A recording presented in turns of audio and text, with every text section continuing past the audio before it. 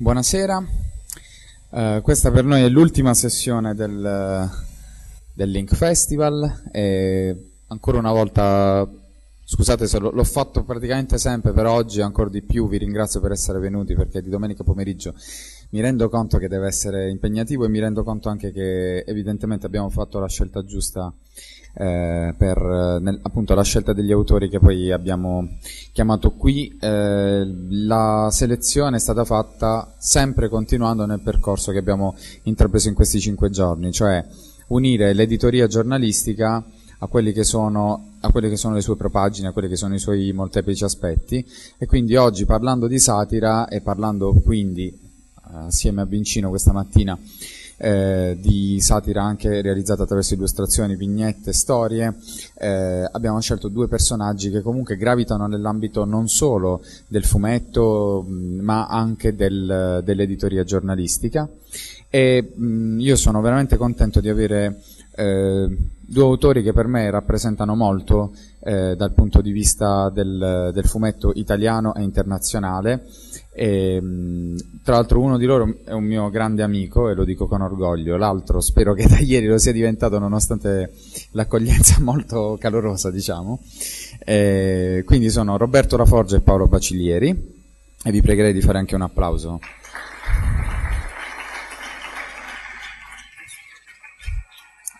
Due autori che eh, tra di loro secondo me molto differenti. Eh, um, uno che eh, Paolo Bacilieri è sul campo eh, già da parecchi anni, e ha al suo attivo una serie di, di premi, una serie di, di, opere che sono arrivate non solo sul territorio nazionale ma anche internazionale e mh, che uniscono secondo me molto bene eh, sia una capacità mh, di essere come dire, apprezzato dal, dall'editoria poi rivolta, un po' più popolare, il lavoro che ha fatto con la Bonelli e anche quella più alternativa, più indipendente e anche più di ricerca. Eh, credo che la prima volta che tu hai pubblicato una tua opera è stata a 21 anni, se non sbaglio, no? 86. Pagata. Ma diciamo, cioè, l'esordio assoluto è stato qualche anno prima, in realtà a 15 anni. Però era una cosa appunto non, non retribuita. E, ehm, ho cominciato comunque sì, molto giovane. E tra l'altro io adesso non, la biografia di Paolo Bacilieri dovremmo spendere più o meno un'oretta eh, solo per parlare di questo, quindi vorrei focalizzare invece... Perché è molto anziano. Eh, molto anziano, sì.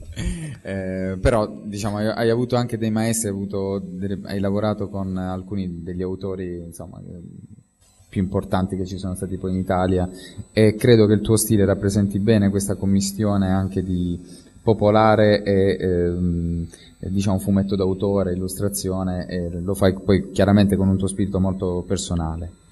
Io volevo spendere anche due parole e poi lascio la, diciamo, il, il microfono solo a loro perché oggi se riusciamo L'idea era di fare un workshop, però eh, siete tanti, per fortuna, e quindi probabilmente si virerà verso qualcosa che sia forse meno interattivo, ma che permetta a tutti di essere coinvolti ugualmente.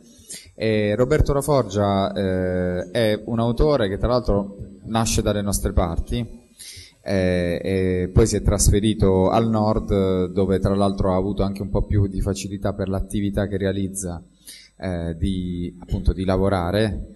Eh, ha pubblicato da poco eh, un, il suo primo romanzo, il suo primo graphic novel che è uscito per Coconino Press, però già in precedenza aveva pubblicato sia per case editrici molto importanti, ma anche per giornali, tant'è che questo poi è uno degli elementi di cui dovremmo trattare oggi, cioè il rapporto poi tra una testata giornalistica e un illustratore, un fumettista che deve consegnare eh, il, il, proprio lavoro, la propria opera e quindi come funziona questo tipo di interazione. E, ehm, Roberto adesso ha pubblicato dicevo, questo romanzo che si chiama Il Signore dei Colori che è uscito anche in Francia e, ed è al lavoro sul, sul, suo nuovo libro e in più ovviamente fa una serie di cose dalle collaborazioni con i giornali alle opere eh, diciamo anche per altri committenti e quindi mi sembrava che fossero due delle persone più titolate per essere qui, anche perché Roberto ha una collaborazione anche con, con, il male, tra le tante, e credo, almeno per quanto mi riguarda, quando leggo il male, la prima cosa che faccio è andare a leggere le storie di Roberto, ehm, se no poi faremo girare quella sul Papa, che è molto delicata, è molto... se non l'avete letta, diciamo, quella sulle... la storia che ha fatto Roberto La Forgia sull'elezione del Papa, vi consiglio, ogni vignetta è una risata innanzitutto, non, non è poco. E quindi niente, io non mi dilungo, volevo solo dire in parole, come avete visto, molto raffazzonate, ehm, perché abbiamo scelto questi due autori. E quanto piacere ci faccia che loro siano qui. E quindi passerei a voi la parola anche perché l'idea era appunto di realizzare un workshop che vi mettesse direttamente all'opera eh, sul disegno. Però eh, siete una sessantina o poco più c'è qualcuno che ha portato materiale di disegno troppi lavori e, ehm, non ci sarà la possibilità di, di, farvi lavorare qua, come vedete lo spazio è quello che è, ma ah, magari a fine incontro possiamo dare un'occhiata, parlarne insieme se uh, a voi interessa, se vi interessa un parere. Certo, sì, sì, più che, più che volentieri. Mm, vado io? Vai, vai Roberto. Eh, allora, buongiorno a tutti, grazie davvero per essere così numerosi.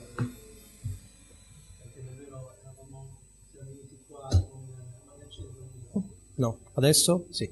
E siamo venuti qua davvero io e Paolo con l'idea di, di farvi vedere materialmente insomma, che cosa eh, significa attraverso una sorta di simulazione, di commissione, eh, che cosa può significare eh, dover chiudere una storia, doverla inventare, disegnare, colorare nel, nel giro di poche ore e quindi di farlo con voi e, attraverso, anche attraverso le vostre forze. E solo che mh, siete in tanti e questa cosa ci piace, quindi eh, piuttosto che fare un workshop in cui non riusciamo a seguire nessuno di voi, abbiamo preferito all'ultimo secondo di, di, di, eh, di andare verso un racconto insomma, di quello che di quello che è il nostro lavoro e che cosa significa per noi lavorare con editori e, e redazioni. Allora, ehm, l'esperienza più forte che forse ho avuto in ambito editoriale e più forte in termini proprio di eh, ristrettezza dei tempi di consegna, di ehm, rapporto eh, e di pre- preparazione proprio del lavoro, ma in termini quasi, quasi culinari, proprio da cucina, proprio da officina, è, è stata quella con, con Vincino sulle, su, sulle, pagine del male, perché, un, perché prima di tutto è un, è un settimanale. Adesso, sta, adesso, ha avuto un momento di pausa il giornale, sta cercando una sua nuova formula, però per due anni qualcosa di più forse abbiamo proceduto settimanalmente e potete capire che cosa significa fare un giornale in cui eh, bisogna occuparsi di attualità, attualità politica, attualità sociale. Significa praticamente reinventare il, il numero di giorno in giorno perché non sai mai che cosa succede lungo l'arco della giornata e che cosa può succedere domani dal disegno di legge all'attentato o il missile lanciato su Gaza e quindi queste cose prendono sopravvento e vanno a condizionare il... Quello lì è l'ultimo numero uscito. Questo è l'ultimo, sì. O l'elezione del Papa, insomma, cose così. E, ehm, io eh, ho toccato po- poche volte, per la verità, eh, aspetti della vita eh, politica, intesa proprio eh, della macchina politica, quindi non, eh, non, tra, tra, gli autori del male non, non, appartengo a quella, a quella, schiera di autori che eh, fanno dipendere il proprio lavoro appunto da, da, dalle, da, dalle, notizie del giorno. Certo in qualche modo eh, mi occupo anch'io di attualità, ma anziché fare una, una, satira politica cerco di fare una satira sociale che abbraccia, che abbraccia eh, macro temi più che, il disegno di legge, ma questa cosa in ogni caso va a colpire la...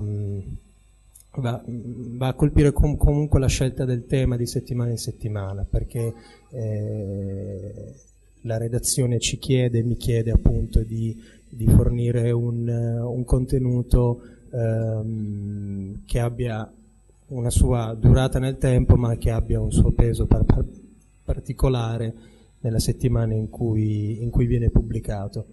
Eh, tecnicamente lavoro proprio così, cioè ehm, io dovrei consegnare il, il fumetto eh, il, um, il, venerdì sera o venerdì notte perché poi il, durante il weekend viene impaginato e reimpaginato nel caso succedesse qualcosa durante il weekend di importante che porta appunto a, a cestinare proprio quello che ho fatto e dover fare qualcosa eh, di più attuale, cioè nel senso che se tocco un tema e poi nel frattempo ci sono stati dei, degli sviluppi, io non posso dare al lettore una cronaca o una satira di una cosa che nel frattempo è cambiata. E, ehm, come per esempio la fumata nera, la fumata bianca del Papa, cioè dovevamo, eh, abbiamo cominciato a fare questo numero dal momento preciso in cui è stato eletto il Papa. Cioè siamo arrivati alla, alla, conclusione definitiva di questo numero quando, perché eravamo tutti convinti che la prima fumata avremmo avuto il Papa e da lì avremmo potuto cominciare a lavorare, si erano presi accordi con lo stampatore, eccetera, e poi il Papa non c'era e quindi ci siamo ritrovati tutti un po' con eh, le mani in mano. E, ehm, dicevo appunto, anche, anche, se tratto temi di, di, anche se faccio satira sociale e non, eh, e non, scendo proprio nei dettagli del disegno di legge, delle varie dichiarazioni dei parlamentari, senatori e, de, deputati, comunque eh, tengo le mie 3-4 tavole che, che, che, devo consegnare, eh, le faccio proprio all'ultimo secondo, perché non, eh, non si sa mai, cioè avrei comunque quei 3-4 giorni in cui mi chiamano prima e mi dicono sappi che insomma ogni settimana è così, e, però per mettermi nei guai da solo lavoro proprio, è una cosa che ho, che ho deciso fin dal secondo numero, cioè mi sono autoimposto di entrare in quest'ottica produttiva ed editoriale e, e questo mi ha consentito di, di, andare davvero subito al cuore del, e al, nel, nel, nel sen, um, a cogliere davvero il senso di, una, di, un, di, un'attività giornalistica o satirica, editoriale, settimanale. E, um, e quindi questa insomma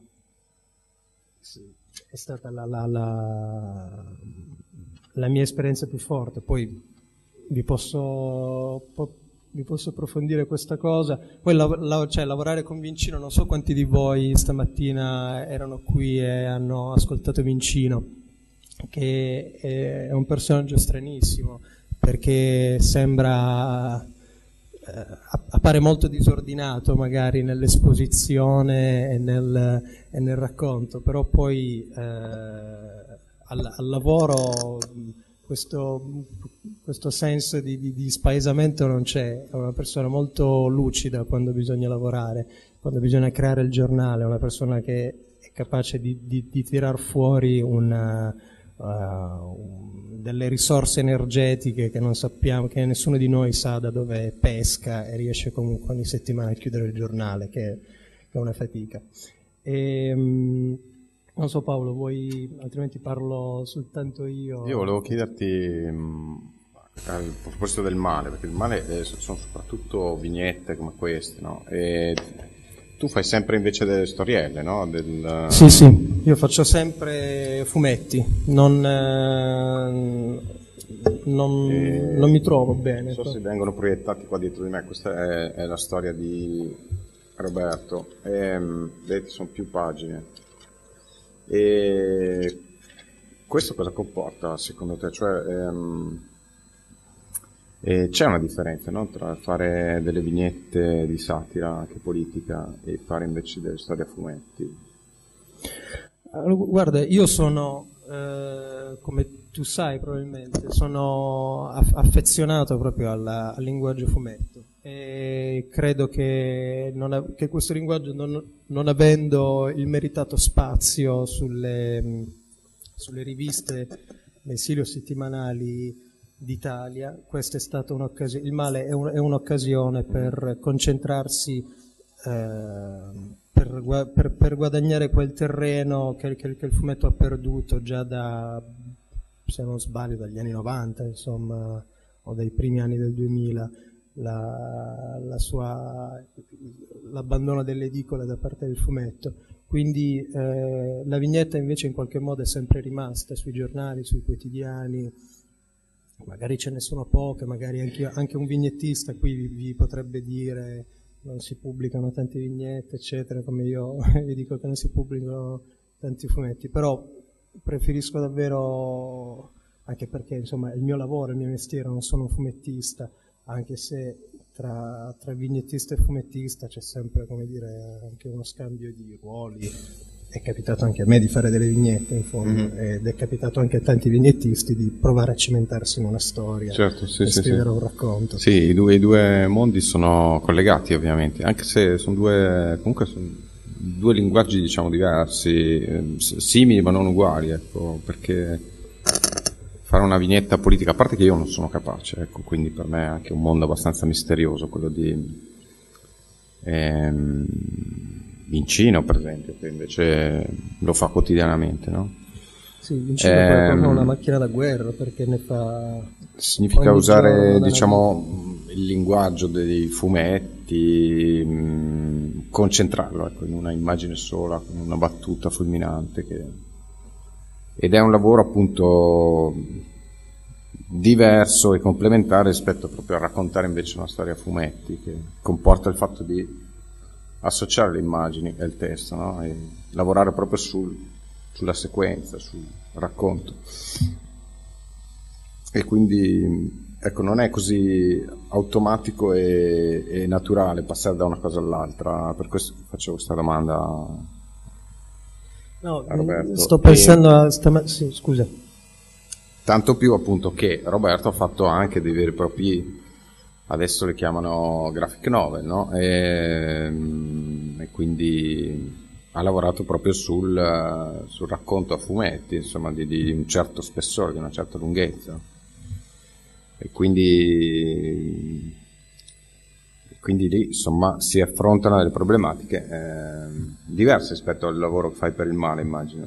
Sì sì beh eh, prima di tutto cambia proprio la, la, la, la dimensione proprio la, postura psicologica eh, lavorare per, per, per, un giornale significa ehm, che tu ogni giorno lavori per quel giornale anche se esce soltanto una volta alla settimana però come dire, ti rendi, eh, rendi, la tua testa a disposizione mm. della, della, prossima idea eh, che ti può venire durante il corso di tutta, di, di tutta, la settimana. Lavorare su un graphic novel, beh, in fondo anche lavorare su un graphic novel significa lavorare, eh, avere comunque sempre in testa la, la, la, la storia, la struttura. Eh, e occuparsi, significa comunque occuparsene anche in questo caso ogni giorno. E, ehm, sì, la differenza è che è una questione proprio, come dire, proprio tecnico-editoriale, lavorare, per, lavorare su un graphic novel significa avere un contratto che ha una scadenza più lunga, e, ehm, anche se poi quando si arriva eh, che mancano due mesi e hai, hai ancora 50 tavole da fare non, è, non appare più così lunga questa scadenza, però insomma eh, si fa. Io volevo chiedere a te Paolo qual è stata la, la tua esperienza editoriale più frenetica, eh, non, non, non, necessariamente per, su settimanali o mensili, però quella esperienza editoriale che ti ha coinvolto proprio, mm, cioè che, che non ti ha fatto dormire la notte mm-hmm. Quella in cui ti sei eh. sentito il, il guerriero proprio, che deve restare sveglio sì, e chiudere sì. le tavole. Beh, nel nostro lavoro, eh, come tu sai, ogni tanto succede di dover fare mh, delle notti mh, no, insomma, sul tavolo del disegno. C'è la consegna e quindi di solito si è sempre in ritardo. Ecco. Quando parli con un collega la, la, frase normale è proprio questa, sono in ritardo, con... no, sono in ritardo, oppure mi pagano in ritardo. Ecco. Due varianti sono queste. E, ehm, l'ultima in ordine di tempo riguarda probabilmente e che è un, un, un, libro a fumetti che ho fatto appunto che è uscito l'anno scorso per Coconino, lo stesso editore di Roberto e, e per il quale in realtà ho lavorato cioè ho avuto tempi lunghissimi diciamo dall'idea originaria di stare a più di dieci anni fa tipo. Ecco. Quindi una sorta di ossessione di lunga durata. Però il lavoro effettivo eh, mi ha preso diciamo soprattutto gli ultimi 4-5 anni a, a, varie riprese no? interrotto da altre cose a un certo punto comunque si è trattato di chiudere il libro entro una data in cui andava mandato in stampa per dopo essere presentato a Bologna a un festival e quindi c'era da aspettare insomma delle consegne. E per cui, come appunto spesso capita, mi sono trovato a dover fare le famosi, famose notti al tavolo da disegno, insomma, ehm, che ehm, è un po', diciamo, sì, rientra ecco, nel, nel, nel, nella prassi del nostro lavoro.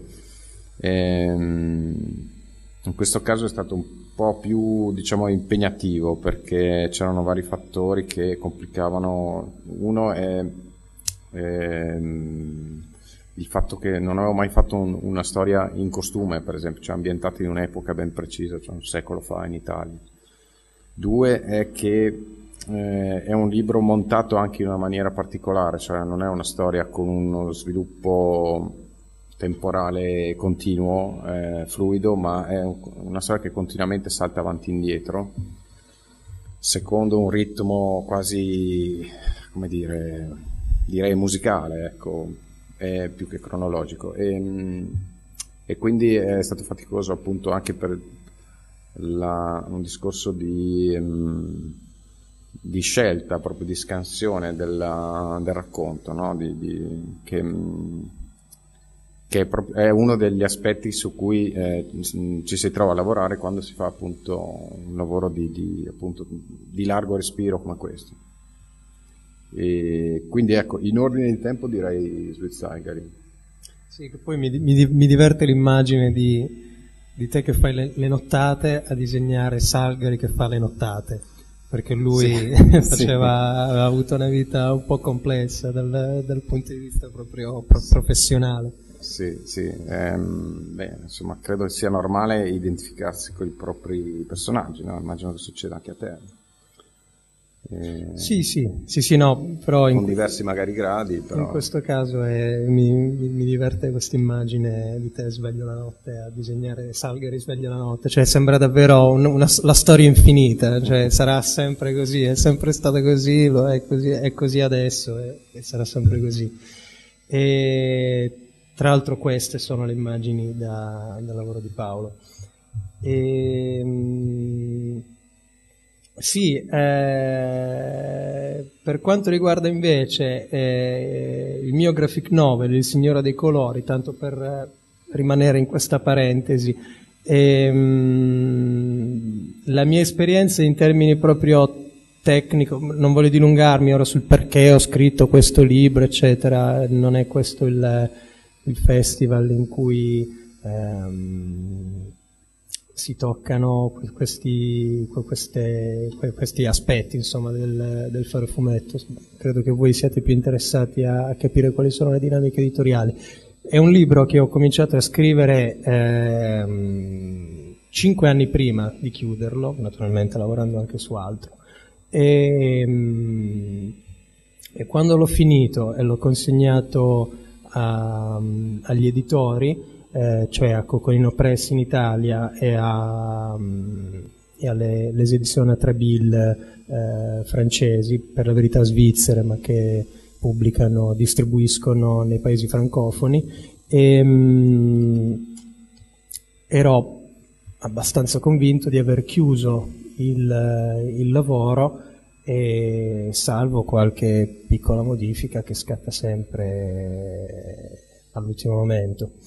E lì parlando con, ehm, lì parlando con il mio editor francese e con il mio editor italiano, che è poi il, il direttore editoriale della, della Coconino Press, eh, nonché autore di, di, fumetti a sua volta, Igor, ehm, abbiamo, abbiamo, aperto una discussione su, una, su, una, su un punto che mancava nel, nel, nel, nel mio racconto il mio racconto è, ve lo dico brevemente, la storia di tre ragazzini che crescono ehm, e che passano un, un, un, un'estate eh, assolata, quindi fuori da scuola, eh, anni, nel 1993, tra l'altro qui vicino, a Capurso, paese in cui io sono cresciuto, tra l'altro.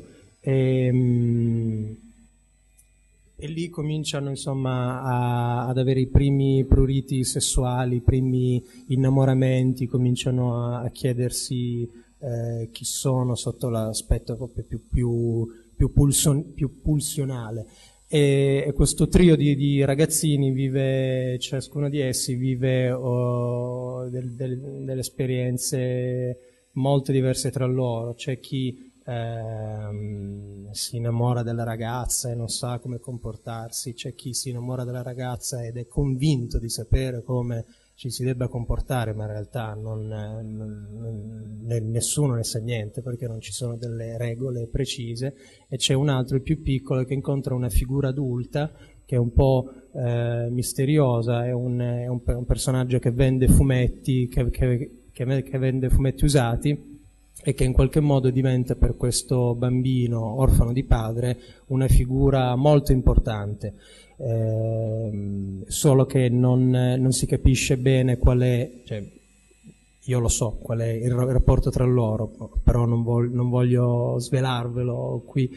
E c'è questa cappa enigmatica, non si capisce esattamente quando e dove comincia e dove finisce la, l'affetto tra tra il bambino e l'adulto.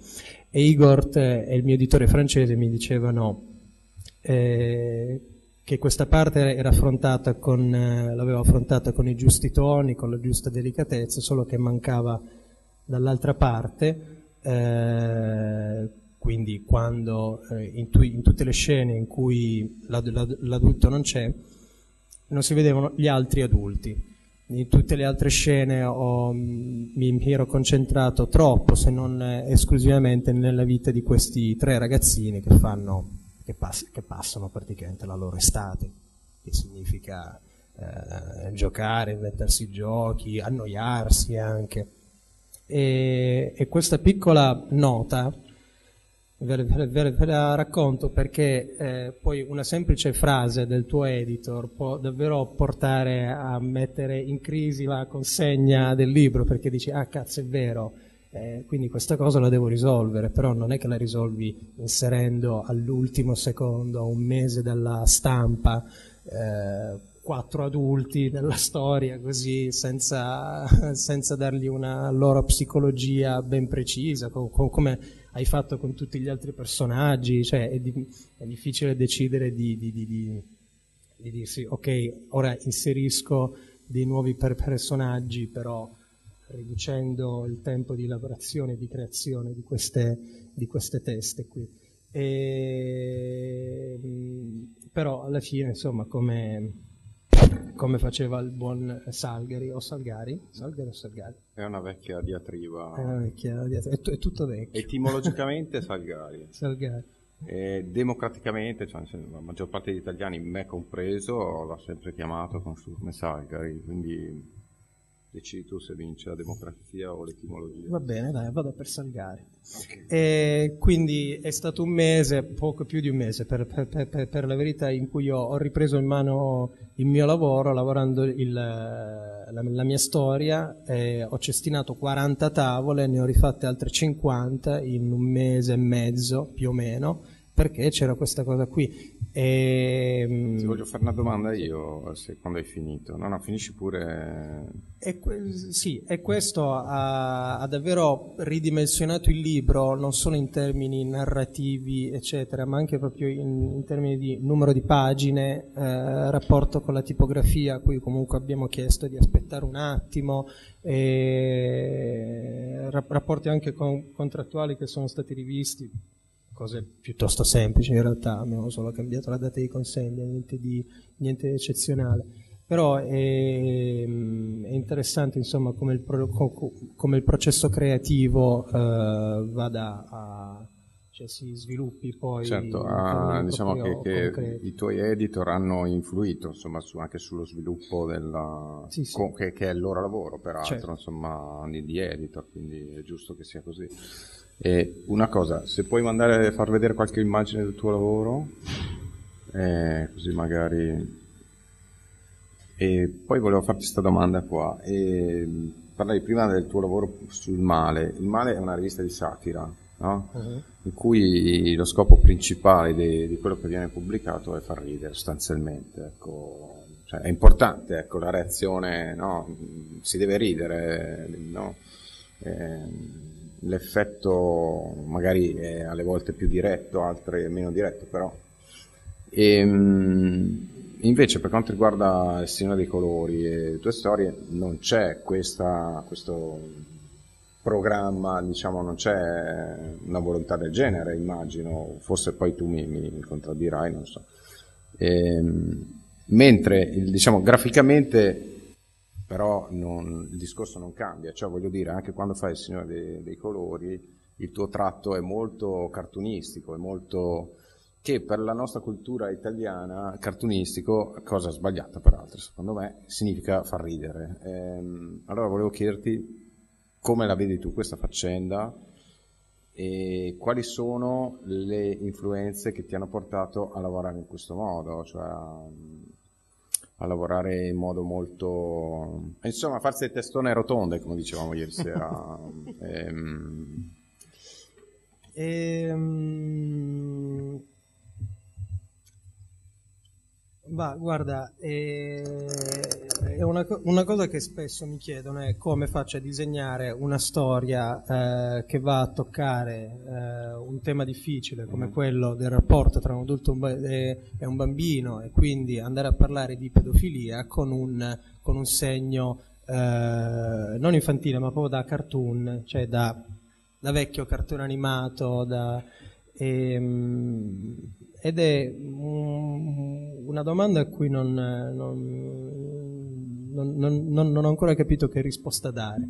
E sicuramente c'è un, c'è un, bagaglio visivo, il mio bagaglio visivo che ha eh, contribuito a formarmi eh, fortemente da, eh, da Schulz, il disegnatore dei Peanuts e di Snoopy, ehm, andando a prendere anche eh, autori completamente diversi, neanche fumettisti, per esempio come Grozze, che era un, un personaggio magnifico del, del, disegno e della pittura degli anni, degli anni 20 e 30. E, um, ora sto riscoprendo anche la mia vecchia passione di Giotto, che secondo me è stato uno dei primi fumettisti della storia, della storia dell'arte e, ehm, e quindi... Mm, quello del, delle matite Giotto, quello che si vede lì. sì, no. lui non quello della cappella degli scroventi. e, ehm, e, quindi eh, magari quando poi sul male mi diverto anche a, a cambiare, a cambiare un po' di più la, la scusate, um, pur rimanendo comunque in un taglio cartunistico, io non so perché non va Posso avanti. anche un po' di Kessuero o insomma di fumetto indipendente ah. americano? Dici? No, te lo chiedo. Eh, ah, bah, c'è anche un... Sì, sì, beh, ass- assolutamente. La, la, la, t- tutti gli autori americani da, eh, da Chris Ware, Daniel Close, Barnes, che ho conosciuto, che ho, ho, cominciato poi effettivamente a seguire solo da quando sono arrivati in Italia, mm-hmm. quindi dalla, la, la, da quando è nato il, il, primo anno di Coconino Press sostanzialmente, che è stato un anno molto importante dal punto di vista editoriale perché eh, almeno io l'ho vissuta così. Cioè, io avevo quasi addirittura smesso di leggere fumetti. E, ehm, perché uh, non trovavo insomma letture um, andavo al liceo all'epoca più o meno e nel frattempo io ero cresciuto, ero, ero, ero cambiato e non trovavo nelle fumetterie qual, qualcosa che, che, che, mi raccontasse in qualche modo, qual, qualcosa di, eh, di più maturo rispetto alle cose che avevo letto in precedenza. Ora dire qualcosa di più maturo è anche un po' mh, mm, troppo, troppo restrittivo, insomma. Però con, concedetemela. E in Italia si era creato davvero forse un ventennio quasi di, di, di buco editoriale, cioè non, negli anni tra fine anni 80 e primi anni del 2000 eh, sono venuti a mancare, è, venuto a mancare un, un, lavoro di importazione editoriale di produzioni americane o canadesi, ma comunque in generale di, di, di, insomma, a livello internazionale di, capolavori del fumetto, cioè che di libri che stavano cambiando la scena fumettistica internazionale, ma che qua non arrivavano. E quindi si era creato un, eh, una, una, una, una, situazione un po' strana, tant'è che io proprio non leggevo più fumetti in quel, in quel momento. Poi quando è arrivata la Coconino, poi ci sono state non c'è stata soltanto la Cocconino, per carità, io vi, vi, racconto la mia esperienza personale, poi magari tu eh, l'avrai vissuta in modo diverso, è interessante capire poi magari come l'hai vissuta tu. E quando è arrivata la Cocconino, io in un anno ho letto, eh, ho avuto la sensazione di leggere nel, nel, nella prima annata di Cocconino, che era, avrà avuto credo una quarantina di titoli, nel, nella prima annata ho avuto la sensazione di, di leggere quei 10-20 capolavori degli ultimi 20 anni del fumetto internazionale. E quella cosa mi ha, eh, mi ha fatto riscoprire le, le, le, le, potenzialità del fumetto, non che le avessi mai eh, messe in discussione, però c'era davvero una mancanza di stimoli forti eh, per, um, per trovare appunto quella forza quella determinazione di dirsi ok adesso io faccio un libro di 200 pagine in cui io sono l'autore, l'ideatore, il disegnatore, lo scrittore e anche l'impaginatore magari, perché va a finire spesso anche così.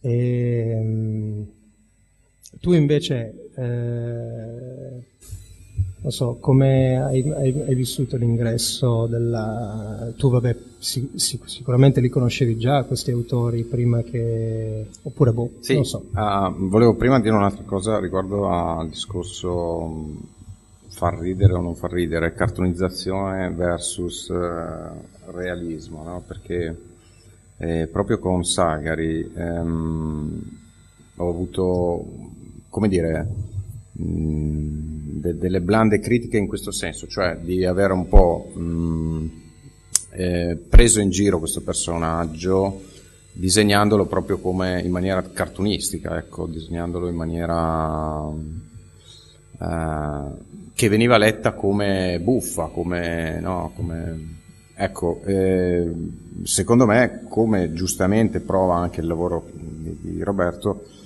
cartonistico non significa necessariamente deve far ridere, significa semplicemente che usa un lavoro di sintesi maggiore, specialmente sui personaggi, eh, come lo, lo, usa, ecco, rispetto a noi in Giappone sono molto più elastici in questo senso, cioè riescono ad accostare non so, un paesaggio disegnato in maniera iperrealistica con un, mettendoci dentro un personaggio che è il massimo della cartonizzazione, cioè molto sintetico, molto ehm, no, ai nostri occhi anche buffo, ma l'intento non è di renderlo appunto buffo, è semplicemente di renderlo vivo, di, no, di renderlo in grado di esprimere tutta la vitalità possibile.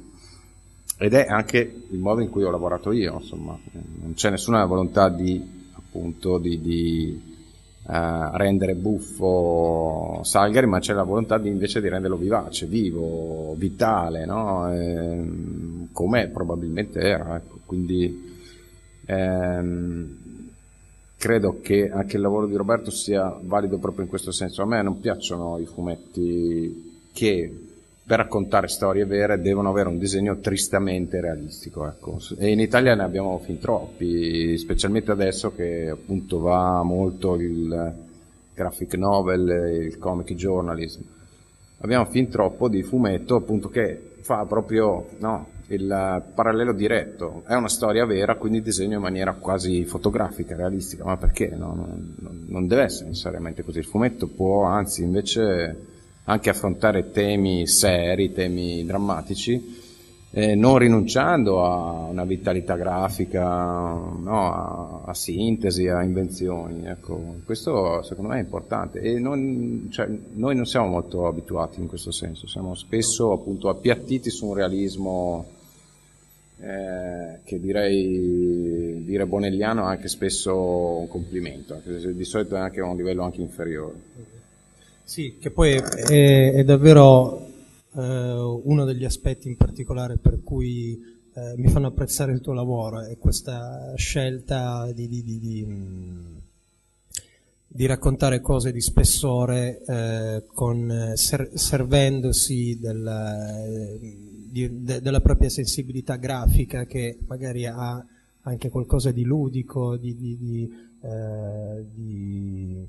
di, di più vitale della, della, semplice, eh, della semplice associazione fumetto serio, disegno serio. Eh, a me piacciono personalmente mh, autori che creano anche con, contrasti nelle storie. E per, per, rimanere su questa cosa mi è, mi è, venuto in mente, mi sono ricordato un aneddoto, eh, spero di trovarla adesso mentre vi parlo. Eh, in uno dei primi numeri del male avevo, qua, avevo fatto una storia, avevo scritto una storia eh, su una ragazza e, mm, che, eh, su una ragazza intorno ai ai 15-16 anni che crede di eh, cioè che si, che si, innamora insomma di un, di un, uomo molto più vecchio di lui eh, vecchio insomma comunque um, un ragazzo sui, sui 32-33 anni.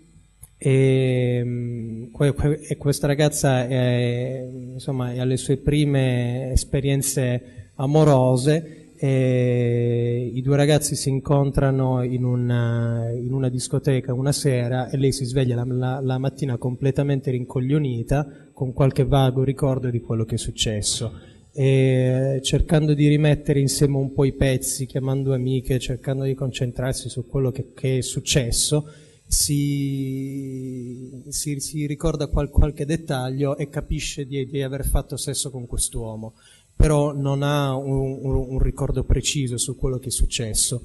E, e, mettendo insieme i pezzi si accorge o ha il sospetto vago, quasi inconscio, che è stata ubriacata drogata e poi portata a letto. E, e il meccanismo eh, psicologico feroce, autolesionista che questa ragazza si fa è, anziché eh, mh, indignarsi e incazzarsi per, per, per, per, quello che è successo, pensa a ah, quel ragazzo che a me piace tantissimo mi ha portato a letto. E dopo, il giorno dopo che, che, che, è uscita questa storia mi ha scritto un, uh, su Facebook un padre di famiglia che era mio amico su Facebook ma non, non, non, non ci siamo mai, mai, mai, conosciuti personalmente e, um, che mi ha fatto intendere insomma, di, di aver avuto, che sua figlia insomma, ha avuto un'esperienza simile e, e, mi ha detto guarda io ho appena letto la tua storia, stamattina ho letto la tua storia, eh, mi ha fatto schifo perché l'hai, l'hai disegnata con... Eh, com- come se fosse una storia di- divertente, poi l'ho riletta stasera e mi, e mi sono emozionato. E questa è poi forse la, la, la, il risvolto proprio concreto di quello che dicevamo, che, eh, che a, una, a, una, a, una, prima lettura eh, un disegno da, per farla breve, insomma, da cartone animato può sembrare una, una presa di posizione eh, come la scelta dell'autore di trattare in, mo- in, modo superficiale un argomento, poi in realtà eh, anche dietro la sintesi diciamo, c'è una complessità, una forza evocativa diversa, tant'è che questo signore insomma, mi, ha, eh, mi ha ammesso insomma, di aver eh, sentito più o meno le stesse cose che gli raccontava sua figlia. E... Aneddoto allegro. E se vogliamo passare ad altro. Sì, senti, volevo anche dire che se ci sono delle domande che provengono dal pubblico ah, certo. o anche da, da Twitter, utilizzando l'hashtag LinkFestival, iniziatele a fare così insomma cercate di interagire perché essendoci anche dei fumettisti immagino che ci sia voglia anche di fare domande più specifiche o più dirette. Certo, certo, non, non è una conferenza, se volete intervenire eh, noi siamo ben contenti anche di,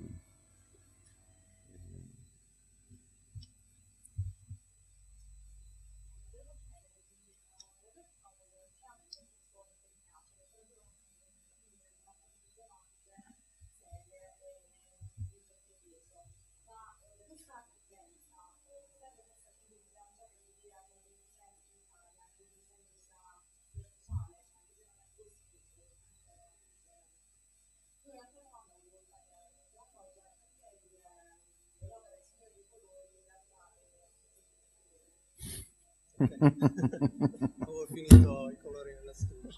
No, no. E...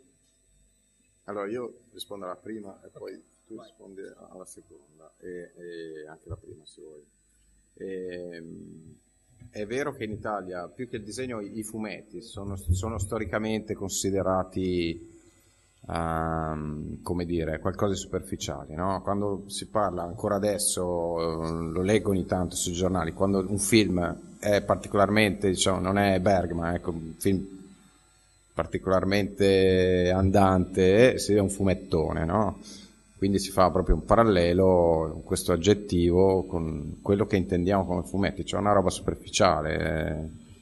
È stato così per anni, ecco, inteso il fumetto in Italia e, ehm, c'è da dire che comunque io sono cresciuto in Italia negli anni 70, negli anni 70 già era in corso una rivoluzione, cioè c'erano degli autori che facevano delle cose straordinarie con i fumetti, c'erano delle riviste come Linus per esempio che proponevano dei fumetti con una chiave opposta, quindi il fumetto era già allora, come dire, emancipato, ecco.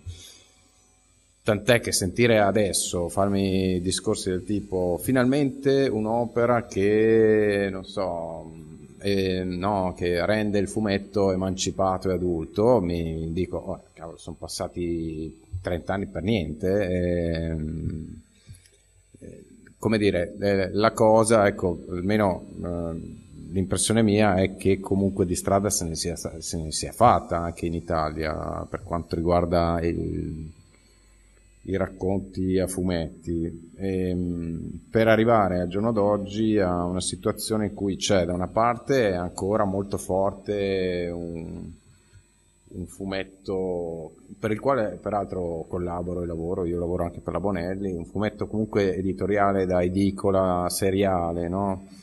che, ehm, che per molti aspetti ha segue delle logiche da fumetto seriale, d'avventura piuttosto che horror, piuttosto che eccetera. E dall'altra però c'è comunque un, si è sviluppato insomma un, un ambito di fumetto di, così adulto, ecco, che può raccontare qualunque tipo di tematica. Ecco. E direi che la strada è quella, ecco poi con alti e bassi sicuramente, con momenti di, di, no, di maggiore o minore creatività, ecco, ma mi sembra che, che la direzione sia quella. Sì, tra l'altro ehm, è una cosa che, ehm, che, mi sono detto anch'io più volte, anche perché le, le, le mie prime influenze non sono state ehm, ehm non sono arrivate insomma dall'ultima ondata e quindi dal graphic novel, ma le, le mie prime influenze forti sono state eh, quelle del fumetto italiano degli anni 70, Crepax, Toppi, Battaglia, De Luca. E la differenza forse ehm, sostanziale tra quella generazione e quella di oggi eh, sotto sotto l'aspetto della, ehm, appunto della crescita del fumetto e degli argomenti trattati e che eh, in, in, qualche modo lo facevano anche loro, solo che loro erano forse più determinati a far crescere non solo i contenuti, ma anche la, la forma, il, um, eh, in termini proprio narrativi, cioè c'era più sperimentazione forse nella costruzione della storia o nella costruzione della tavola, cioè, ehm, adesso manca un Crepax in Italia, un, un Toppi che tra l'altro è venuto a mancare da, eh, da non moltissimo tempo. E, ehm, perché quando si parla appunto di fare del fumetto un linguaggio più, più adulto, eh, bisogna stare attenti che cosa si intende, perché eh, fare del fumetto un linguaggio più adulto non significa semplicemente trattare temi più adulti, ma anche eh, essere più adulti nella forma, eh, nel, nel, meccanismo del fumetto, cioè far crescere il, il potere di, di, di, di, questo linguaggio. E, ehm, mh, poi per venire alla, alla scelta dei colori eh, dell'arancione e del nero, del, del Signore dei Colori, e, ehm, avevo bisogno di usare una tinta uh, accecante, cioè, avevo, avevo, voglia di un, di un, colore che in qualche modo uh, facesse sentire l'ambientazione eh, capursese, l'estate, quindi il sole, molta luce, eh, palazzi quasi tutti bianchi, quindi luce che si riflette dappertutto. E, ehm, e allo stesso, punto, e allo, e allo, e allo stesso momento questo arancione, in particolare proprio questa gradazione di, di arancione, ha anche un, se vogliamo, ora la banalizzo un po', però ha un, ha un significato anche metaforico, nel senso che eh, ho cercato di riproporre cro- cromaticamente la, lo stato mentale di, di, di, di, questo bambino che incontra questa figura eh, adulta, che è una figura eccezionale perché gli fa leggere i fumetti, gli, gli, racconta, gli fa guardare le cose in un modo diverso, è una persona a suo modo affabile, quindi è, è davvero eh, illuminante in qualche modo fino al punto proprio di, diventare accecante, insomma. È spento tutto, infatti si spegne tutto. E, ehm, ah no, perché è arrivata la luna. E, ehm, sì, quindi sostanzialmente è stato questo. Poi in particolare nelle... Mm, se posso darti una risposta, se vuoi, un, un po' più un po' più intima, eh, le prime tavole che ho fatto di questo libro erano delle notturne, che tra l'altro posso farvi delle? vedere, delle scene notturne, che non sono queste, ma sono scusatemi un secondo. Beh, tipo queste qua. Ne avevo in mente delle altre, ma anche queste qui. E, ehm, queste scene notturne, eh, anche quelle, cavolo, preferirei farvi vedere quelle di, ambientate in campagna. Io mi ricordo che quando eravamo ragazzini, forse eh, io ho, ho, 29 anni, forse la mia generazione è stata eh, l'ultima a, a, vivere il gioco di strada in modo quotidiano. E, cioè, io mi ricordo che, eh, e tanti di voi si ricorderanno naturalmente, che, ehm, che andare a giocare significava insomma, andare giù in cortile o per strada, allontanarsi anche da casa e tornare a casa anche a mezzanotte, ritrovarsi magari in mezzo alla campagna, perché io ero a Capurso, eh, o comunque per, per, strade in cui non c'è nessuno, però in qualche modo il, um, ci sentivamo sicuri, non, eh, non avevamo eh, particolari pro- problemi a restare da soli quando eravamo fuori e, e questo arancione nelle, mm, quando ho disegnato queste notturne, cioè questo arancione in qualche modo faceva un po' di luce, è come se facesse un po' di luce in queste scene notturne e mi piaceva questo senso di sicurezza che l'arancione eh, mi ha dato e, e, e, devo dire cioè, mi, mi, è arrivato così per caso, non, da quel punto di vista non, non, è stata una scelta. Poi l'ho ho cercato di, di, di redistribuirlo in modo razionale e logico con eh, le motivazioni che ti ho detto prima. Però il primo, mm, la prima, mm, insomma, è stata più una cosa istintiva che poi è andata a, a raccogliere logica, praticamente.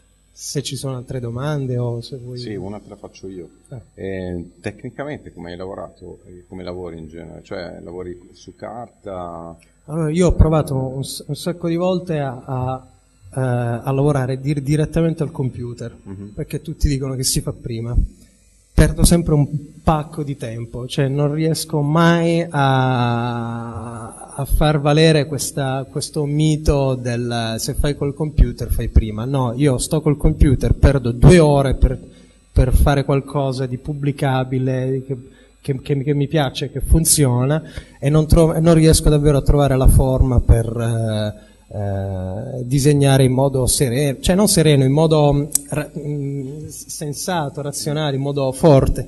E quindi di base, poi cambio naturalmente da, da, da, dal tipo di lavoro che sto facendo, per, per, però di base faccio eh, il disegno a mano, uh-huh. la matita a mano, la, l'inchiostro a mano, scansiono il colore eh, lo do al computer. Uh-huh. Il colore lo do quasi sempre, for, for, fuorché in questo libro qui eh, anche, anche, il colore è fatto a mano. Anche il colore manuale nel, nel segno sì. dei colori. Naturalmente ci sono dei, dei, piccoli interventi sì, poi sì, al computer, per esempio il, uh, i, i, rettini. I rettini sono ovviamente sono digitali.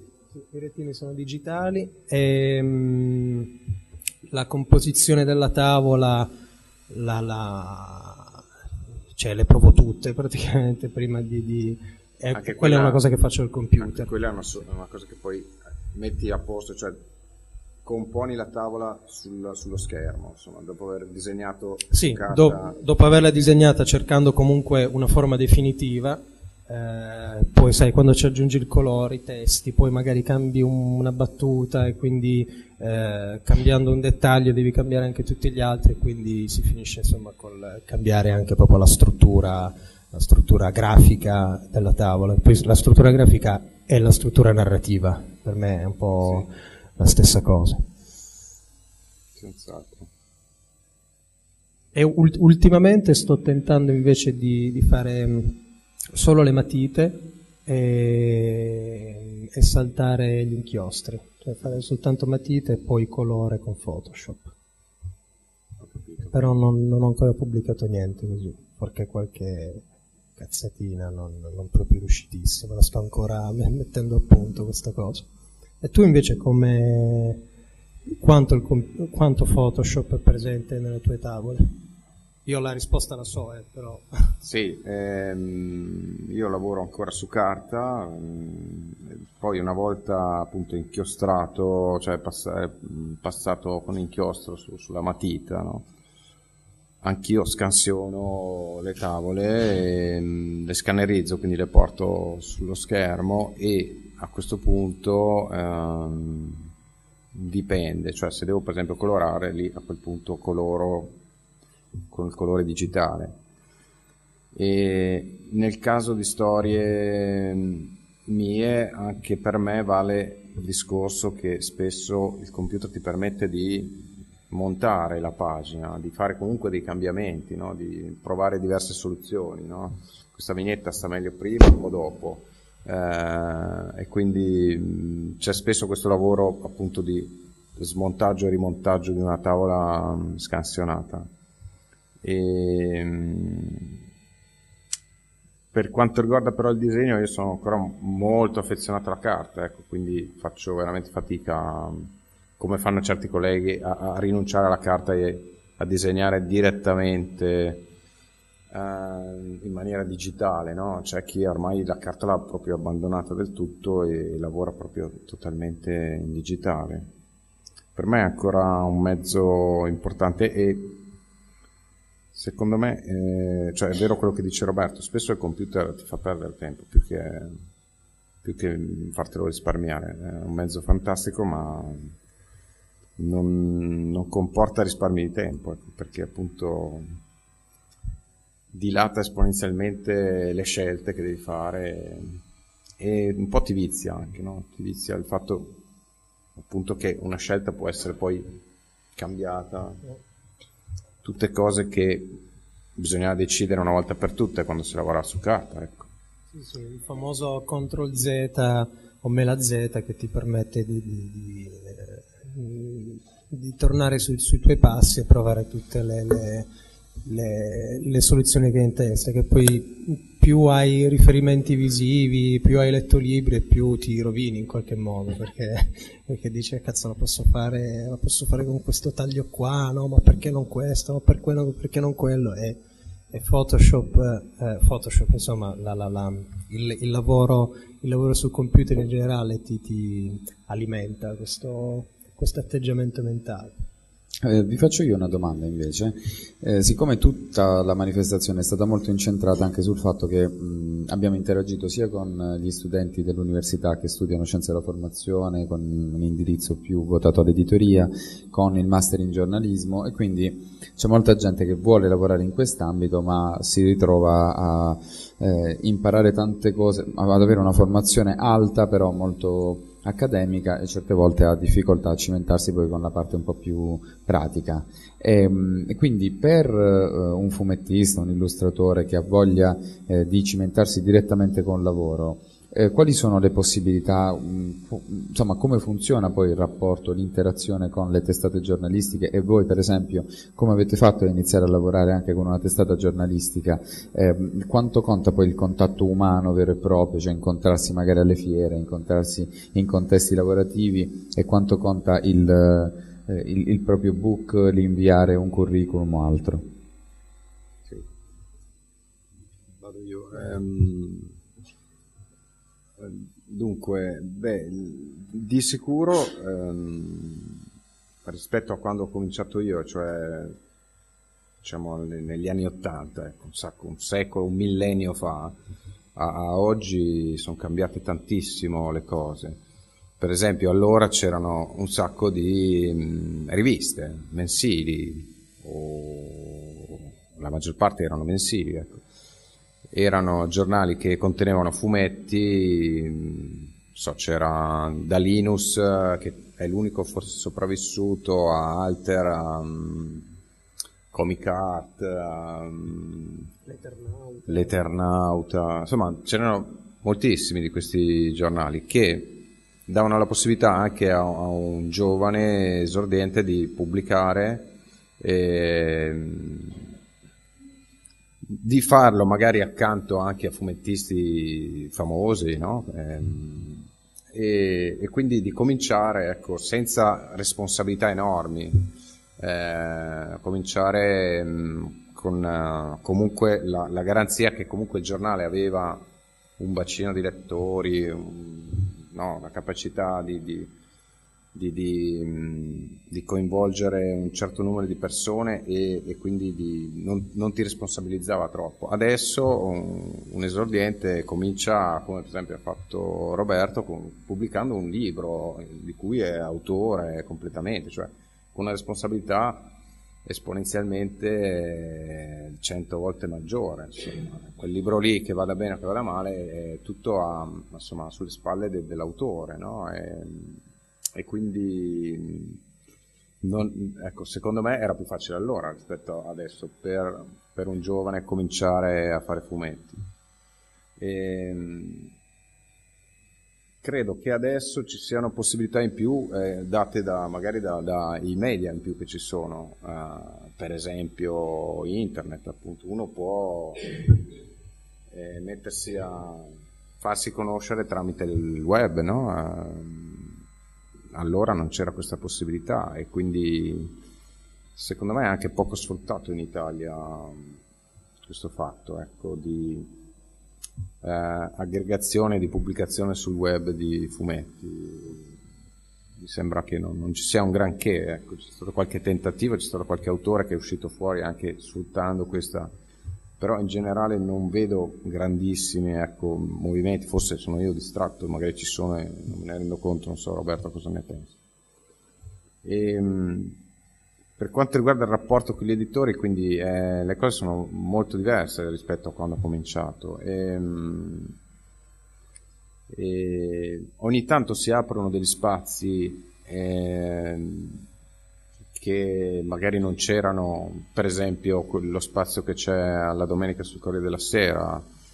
Eh, è uno spazio, è un, sono due pagine del Corriere che mi è capitato di, di, di utilizzare due o tre volte in cui si può raccontare una storia, diciamo breve, essenzialmente una storia di due pagine, anche se sono delle pagine però da corriere, quindi molto grandi e che quindi sfruttate nella maniera giusta danno la possibilità di, um, di raccontare una, una, breve storiella, ecco.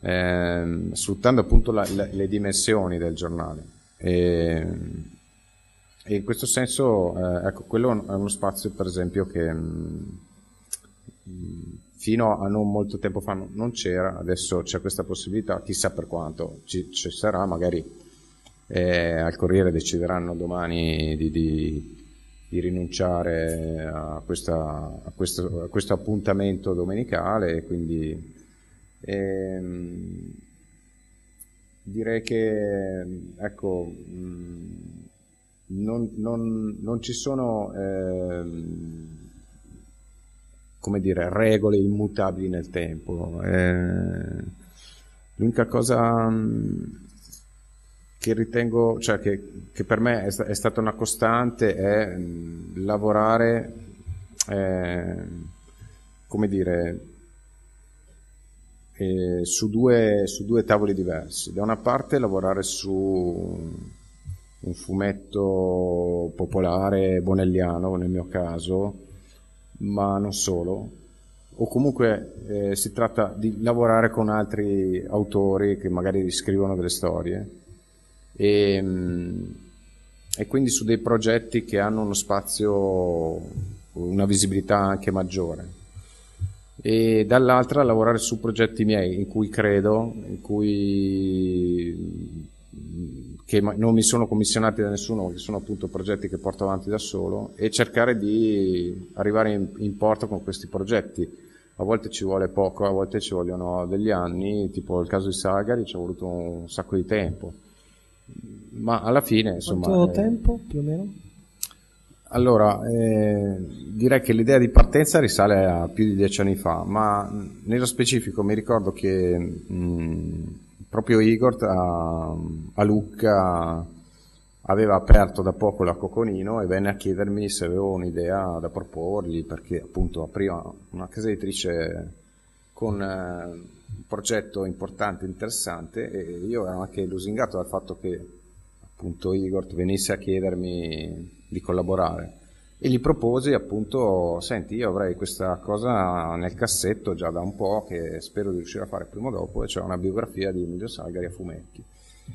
Igor era entusiasta dell'idea, mi disse guarda quando ce l'hai pronta mi sembra un'idea fantastica, e, ehm, ci sono voluti insomma dieci anni, ecco, perché era il 2001-2002 e quindi ci vuole poco a fare i conti, era, la Cocconina era appena, era appena nata. E non sempre per fortuna ecco, ci vuole così tanto per portare a termine un lavoro. Però a volte per, per noi fumettisti succede cioè spesso le, le idee insomma, hanno bisogno del tempo anche per prendere una forma per... prego.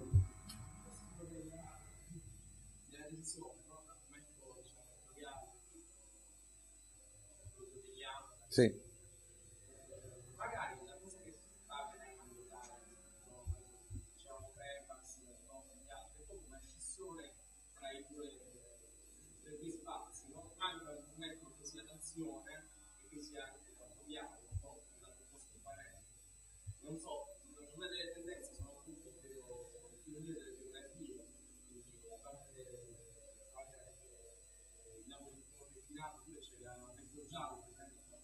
Sì, sì, sì. Mentre invece Reynolds, Dotti, ma anche con tutto il fumetto, diciamo, degli autori inglesi, americani, no? Morrison, di Miller, sì. hanno lavorato molto nel fumetto che anche di genere, d'azione, spostando su altri contesti assolutamente, diciamo, fuori dal mercato, ad esempio in alcuni casi sono da un padre, diventano poi delle cose che sono prettamente autoriali, però mantengono un elemento d'azione. Mentre invece la cosa che forse l'Italia manca è un'unione, un elemento che, che renda autore e azione, diciamo. Non so, magari qualche cosa della Bonelli che ha provato a fare eh, Magico Vento era tendenzialmente era proprio serie, però non riusciva comunque a, a discostarsi troppo. Non so, questa divisione. Beh, il tentativo l'avete fatto voi con Napoleone. Sì, uno dei tentativi probabilmente è quello. Io no, non, come dire, rispetto a te vedo, la vedo un po' più, più complessa la situazione, cioè, uh, nel senso, um, non vedo una distinzione così netta, nemmeno in Italia, anche se appunto in Italia c'è effettivamente un mondo di fumetto popolare, bonelliano e poi anche non solo, insomma anche... Uh, lo stesso Topolino è una rivista storica che c'è ancora in Italia, insomma, che sono fumetti classici disneyani che facciamo solo noi, tutto il mondo, compresi gli americani. Eh, però eh, credo che già allora, cioè io mi ricordo quando ero ragazzino, c'erano i più grandi autori, insomma, da, da appunto di nomi che hai citato tu e non solo, eh, Battaglia, Toppi, Ugo Pratt, Micheluzzi, che pubblicavano su dei giornali per ragazzi, no? cioè, estremamente anche popolari, insomma, appunto per, per, un pubblico di ragazzi. E, ed erano autori di, di alto spessore. E, quindi, ecco, io non, non, non, vedo né storicamente né attualmente una distinzione proprio netta tra quello che è il fumetto e diciamo più popolare quello invece più fico eh, diciamo d'autore eh, sicuramente ci sono fumetti diversi ecco questo senz'altro e per, anche per pubblici diversi. Eh, resiste come dicevo prima il fumetto popolare proprio d'avventura classico. Eh, ci sono autori che propongono storie anche molto sperimentali molto, e c'è un mondo di come dire, vie di mezzo, di mainstream, di, no, di, che appunto complica le cose in qualche modo, forse è anche una fortuna però, non so. E, ehm, non so come la vede Roberto. Ma più o meno, più o meno come te, poi eh, devo anche devo, devo, anche essere un po' sincero, cioè non, eh, effettivamente non, non, non, seguendo realmente tutto, sicuramente mi, mi, mi perdo tante cose ah, beh, e, e, e, non riesco a, poi a, a dirti effettivamente eh, quanta distanza ci sia tra, tra un pianeta e l'altro, insomma, tra quello del fumetto d'autore e quello del fumetto popolare. E, mm, mi sembra che la tendenza comunque io conosco di più il fumetto d'autore, cioè i, i, i miei amici lavorano più eh, nell'ambiente del fumetto d'autore che in quello, eh, che in quello popolare. E, mh, la tendenza però un po' è, è, quella eh, che, che, che, a me non piace, di, di autocollocarsi, cioè di, di, auto, di autodefinirsi, di autodatarsi, cioè di, ehm, di, parlare di sé come autori e soltanto co, co, come autori, non, non, si usa quasi più la parola disegnatore. E, forse io sono, uh, io sono uno dei, dei pochissimi uh, di, disegnatori, autori eh, che, che, che, lavora comunque anche sulle pagine del, del male, fa fumetti comici, eh, ce ne sono, non sono l'unico naturalmente, però c'è un po' di, di difficoltà insomma a, a, muoversi liberamente, ma sono difficoltà non imposte dal, dal, dal, dalla situazione editoriale, cioè sono limiti che, eh, che gli autori stessi si danno. Insomma. Limiti, eh, limiti significa scelte insomma, che, che, che, gli autori prendono. E, poi io volevo anche eh, rispondere anch'io alla domanda di Michele.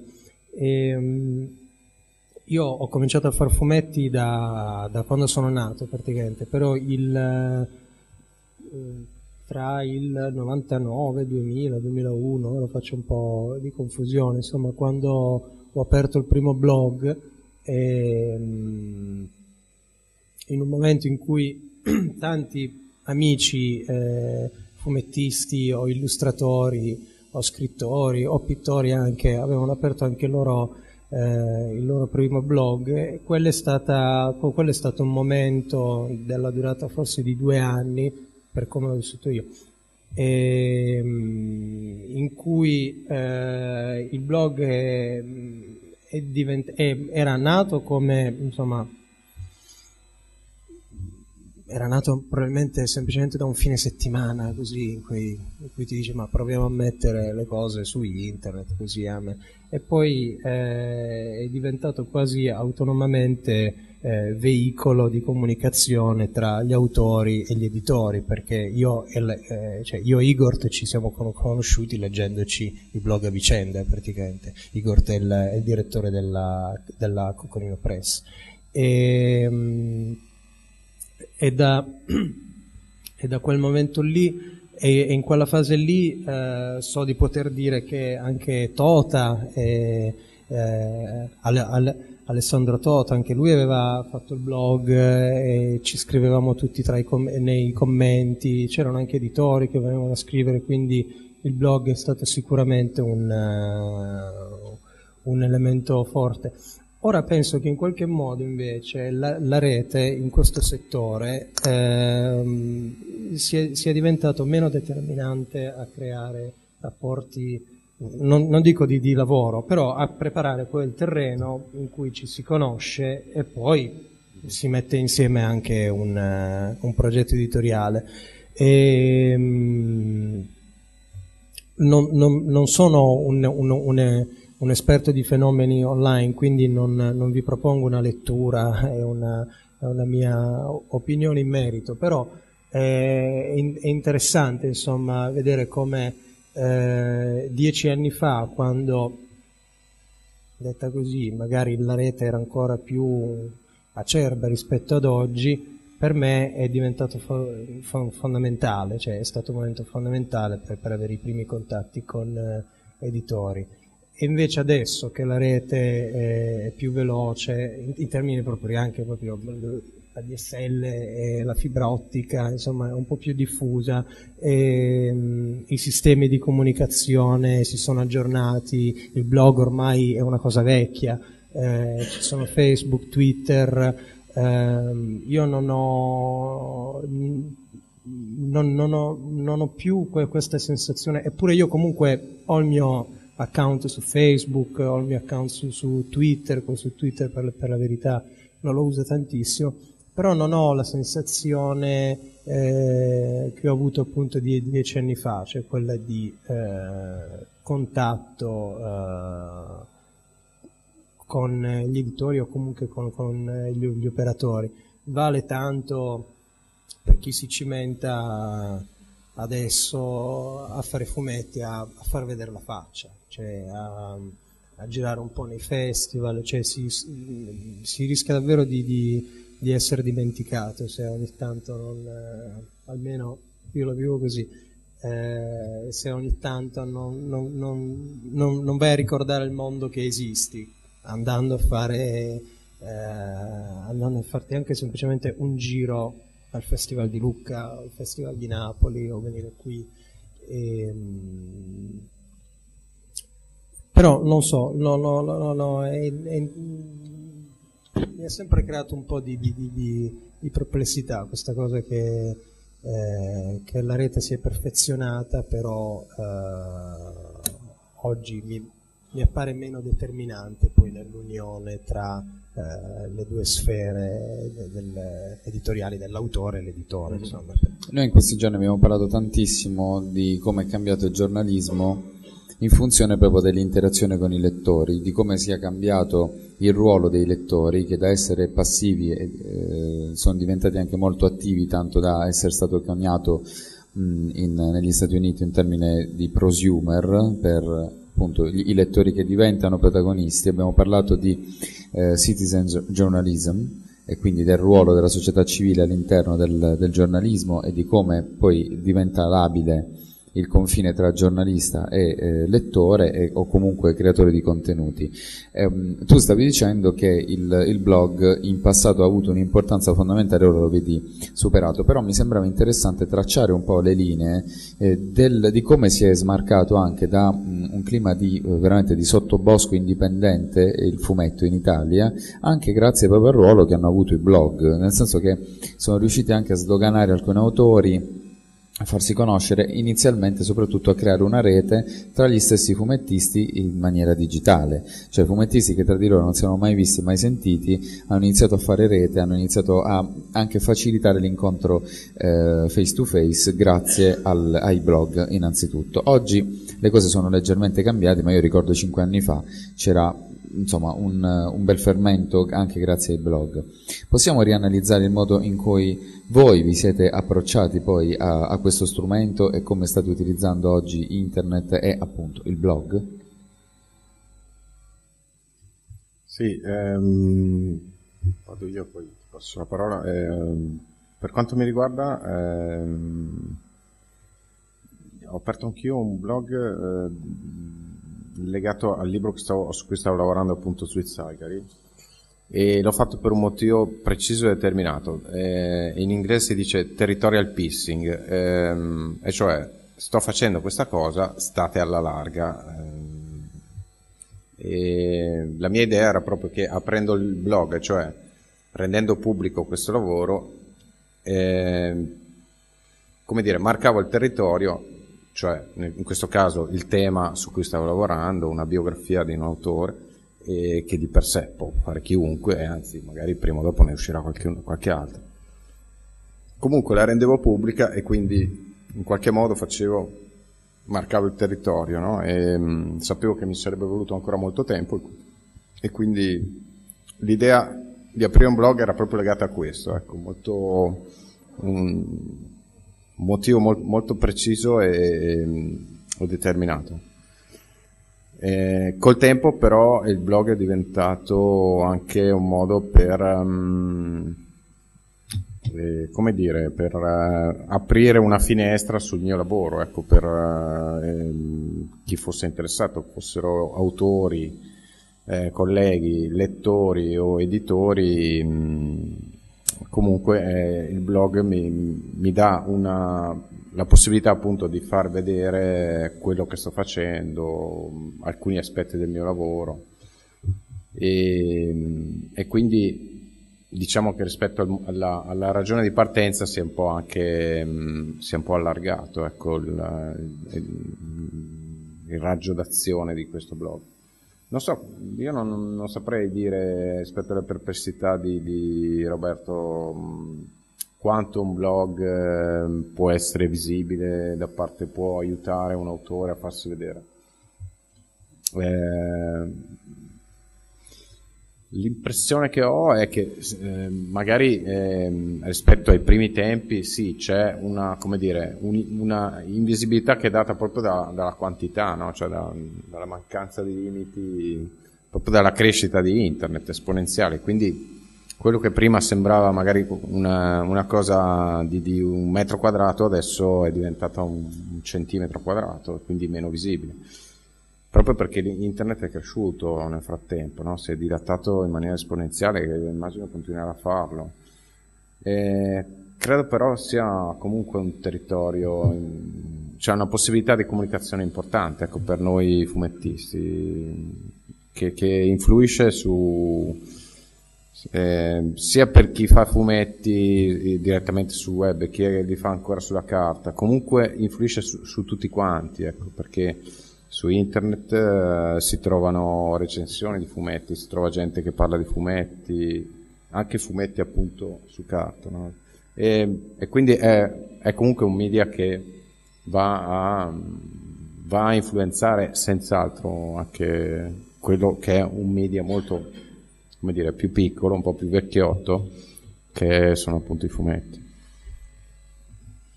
E io invece ehm, avevo aperto appunto il, mio blog forse nel 2000 e ehm, adesso è praticamente diventato semplicemente quella roba eh, prima pubblicavo robe, mettevo i miei disegni, adesso è un, un blog più o meno abbandonato eh, perché in qualche modo è stato sostituito da Facebook.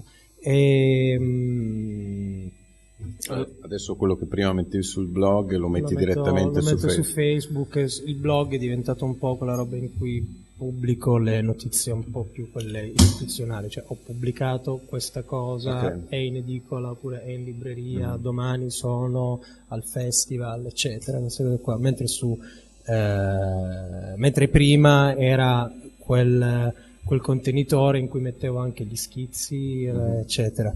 Poi è anche una cosa un po' forse che si fa in età adolescenziale, poi eh, per, per, varie ragioni non si fa più o, o, si, o si, fa meno. Io ora eh, il blog è, più o meno una vetrina, insomma, non eh, non, non, c'è quella vitalità poi nella parte commenti che, eh, che c'era fino a qualche anno fa e no, no, non solo nel mio. Vi sto parlando proprio del, dei blog di questi autori. Trasferendoci poi su Facebook forse si è persa proprio questa dimensione, il blog in qualche modo diventava anche il blog di un autore e, ehm, la voce di un autore, erano blog in cui non, non necessariamente si, si, pubblicavano disegni, si poteva anche semplicemente scrivere, parlare di fumetti, di racconto, di narrazione, eh, di costruzione di una storia e tutto quello che ci può essere intorno a questo lavoro. Trasferendoci forse poi su Facebook si è persa un po' la, um, la sensazione di unicità di questo eh, di questo lavoro e probabilmente questo va a toccare non soltanto il mio settore, e, mm, perché prima entrare in un blog significava, uh, sì, significa tuttora, dedicarsi solo a una persona, cioè immergersi nel lavoro di un solo autore. E mm, invece adesso aprire un social network significa porsi di fronte a una moltitudine. E, e boh, credo che questo abbia, sì, devo dirlo, in qualche modo danneggiato il, il dialogo tra, tra, fumettisti e autori, perché devo essere sincero, comunque in quella stagione lì in cui sono venuti fuori un po' di blog, eh, probabilmente anche alimentato da un'editoria che, che cominciava a sperimentare cose nuove, eh, la nascita di alcune case editrici, il, la nascita o l'importazione del termine graphic novel, eh, tutto aiutava a creare un po' di fermento in più. E adesso, mm, non so, io non, non conosco... Eh, conosco ventenni che, che, fanno fumetti, ma, ne, ma, ma, nessuno mi dice che attraverso Facebook, insomma, ha trovato lavoro, ha trovato una, una, una commissione o comunque ha conosciuto una persona importante che poi magari incontrerà fisicamente al festival e da lì magari eh, si parla di fare un libro. Non ho, non ho, mai sentito questa cosa qui. Attraverso il blog invece qualcosina si muoveva. E, eh sì, cioè era, è andata così. C'è una domanda invece che è, stata, è arrivata da Twitter, eh, la, la, fa Daniela Lella, e dice in base a cosa scegliete di fare un fumetto bianco e nero o colorato? E vari, vari fattori. E in alcuni casi la scelta non c'è, per esempio, so, per quanto riguarda Bonelli, tradizionalmente i fumetti Bonelli, per fortuna, sono per lo più in bianco e nero, che a me piace tantissimo. Devo dire che mh, mm, sono molto affezionato al bianco e nero, mi sembra, mi sembra il fumetto ridotto nella sua forma più essenziale e nello stesso tempo anche più affascinante e, ehm, quindi spero di, di, continuare a fare dei fumetti anche in bianco e nero. E per quanto riguarda il colore, spesso lo si sceglie. Diciamo che la maniera migliore di sceglierlo è, è legata alla storia che si racconta. E, per esempio, mi è capitato di disegnare una storia ambientata, un noir ambientato a Cuba tratto da un romanzo noir appunto di, di Daniel Ciavarria, una sorta di commedia e l'ambientazione, cioè l'Havana, eh, diciamo mi obbligava quasi a lavorare anche col colore, quindi la scelta è stata appunto di, di fare un fumetto a colori. E, ehm, però ecco, spero, mi piace molto lavorare col bianco e nero, spero di poterlo continuare a fare insomma almeno al 50%. Ecco. io invece ho, mm, ho, la possi- ho la, forse la possibilità editoriale eh, di, di, poter scegliere di volta in volta se farlo a colori o in bianco e nero, cioè non, ehm, non, non, non lavorando per Bonelli o per, o per, altri editori che hanno che impongono, queste, impongono insomma, che hanno adottato questa scelta eh, e, e, quindi mi trovo sempre di fronte alla, alla, um, al dover prendere la scelta se colorare oppure no. Che poi per la verità non è che la suddivido così, cioè se colorare oppure no, cioè non, eh, esistono milioni di sfumature tra eh, un fumetto a colori e un fumetto in bianco e nero. E ci sono mille modi di fare il bianco e nero, ci sono mille, modi di colorare. E, mh, nella maggior parte dei casi ut- utilizzo il colore, in, in, in, qualche modo a questa domanda ho risposto anche prima quando ho spiegato il, il, motivo per cui ho utilizzato quella gradazione di arancione, cioè eh, il fumetto è fatto di poche cose, una, una, tavola di fumetti è fatta di poche cose, è fatto di, eh, di disegni, di chiaroscuri, orretini, eh, è fatto di qualche balloon, i testi dei balloon, i bordi delle vignette, lo spazio bianco tra una vignetta e l'altra e se ci vogliamo mettere il colore anche il colore. Quindi son, sono poche cose che eh, la combinazione di queste deve creare, deve creare un clima, deve emozionare il lettore, quindi la scelta se farlo in bianco e nero o, o, a colori dipende proprio dalle intenzioni espressive che, che la storia mi chiede.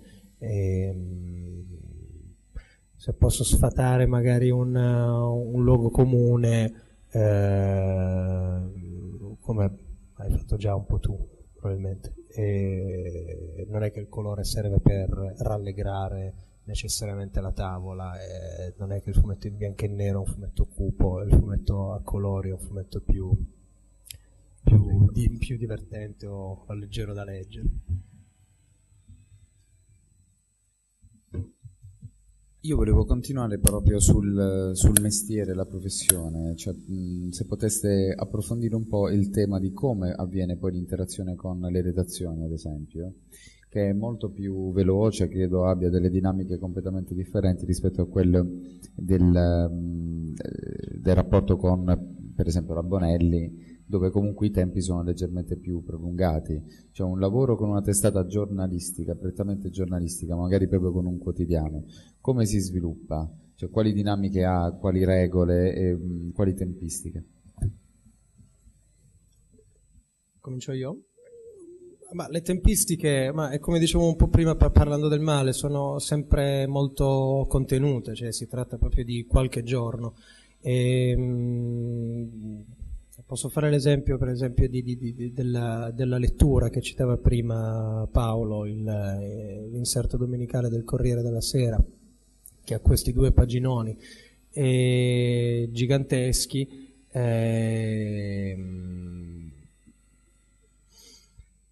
non, davvero non c'è tanto altro da, da, da spiegare. Cioè, eh, su un settimanale come il male effettivamente succede qualcosa perché eh, avendo l'impegno di, di, dover uscire ogni settimana eh, il rapporto tra me, eh, autore, e la redazione che nel mio caso è una mail o un telefono perché non, non vivo a Roma e, um, è fatto di, di, di, di, vabbè ormai c'è un rapporto più o meno di fiducia non, eh, io dico a loro che consegno le cose all'ultimo secondo perché mi lascio la possibilità di, fare cose su, su, quello che sta succedendo eh, durante la giornata e e loro mi lasciano lo spazio per, uh, su, su, sull'impaginato delle, della rivista. Naturalmente non, non, è stato così fin dal primo giorno, il primo giorno magari mi prendevo tre giorni per fare queste 3-4 tavole e mandavo prima le matite, non tanto per fargli vedere il disegno, cioè una redazione che mi ha sempre lasciato lavorare, mi ha sempre fatto prendere le mie scelte grafiche, stilistiche, eh, senza nessun problema, però inviare le, le, le, matite era solo un modo per consentire alla redazione di capire come impaginare tutto il giornale.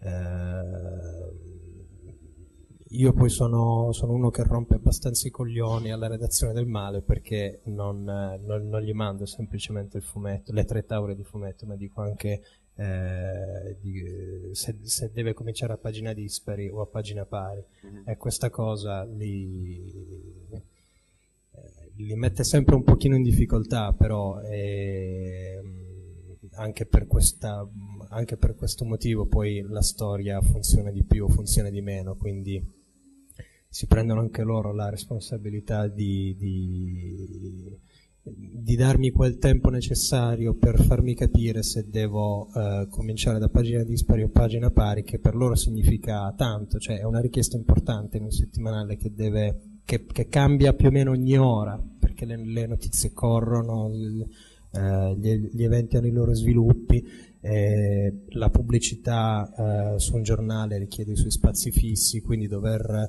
organizzare sempre i materiali e avere pure l'autore rompipalle che ti dice eh, aspetta, devo ancora decidere se cominciare da pagina dispari a pagina pari.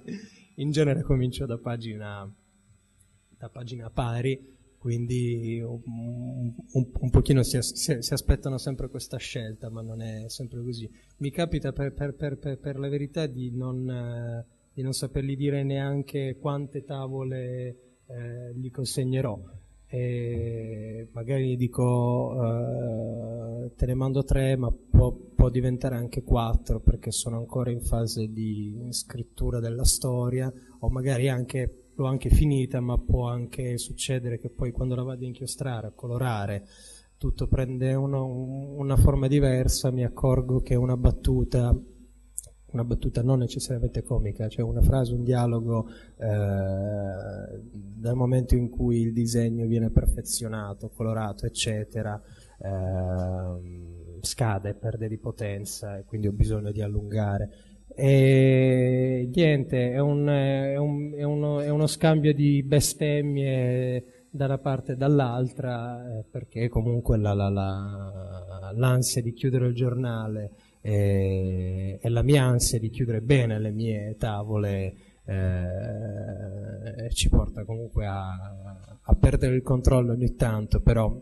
c'è questo rapporto di fiducia che ci permette di di mandarci a quel paese anche serenamente. Insomma, sappiamo che poi quando si chiude il giornale siamo tutti contenti, non è, non è un dramma.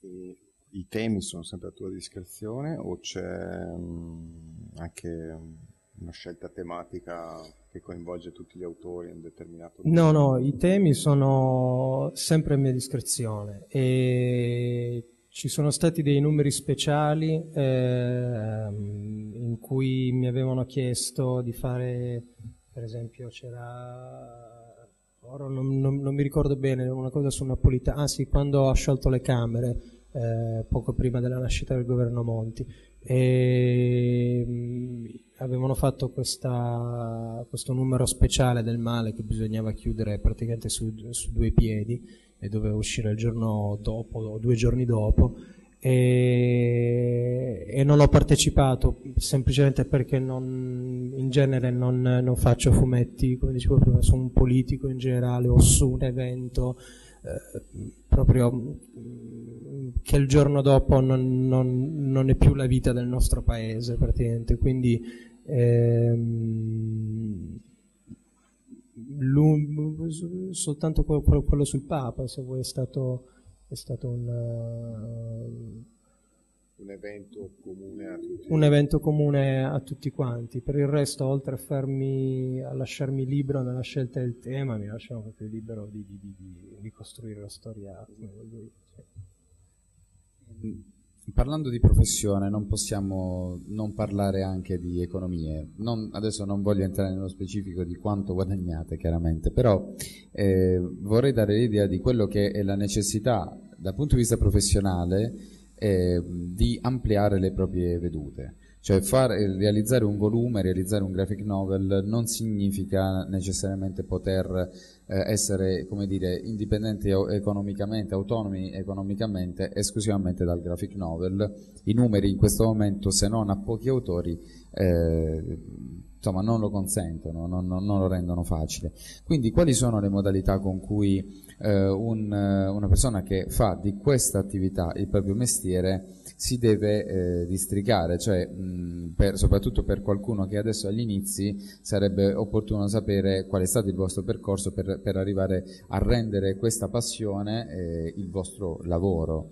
Eh, entrambi siete partiti molto giovani e mh, adesso eh, avete come dire, già compiuto un percorso che vi ha permesso eh, di, rendervi appunto, di, di fare di, di, questa professione il vostro lavoro, ma quali sono le difficoltà, quali sono poi le modalità cui, eh, con cui bisogna cimentarsi? Puoi rispondere ma sì, ehm, direi che mh, mm, per quanto riguarda la mia esperienza, ehm, eh, diciamo che in Italia c'è appunto un editore come Bonelli che ti permette di fare fumetti, di guadagnarti da vivere, stante che devi fare un certo tipo di fumetto popolare, ecco, seriale per lo più.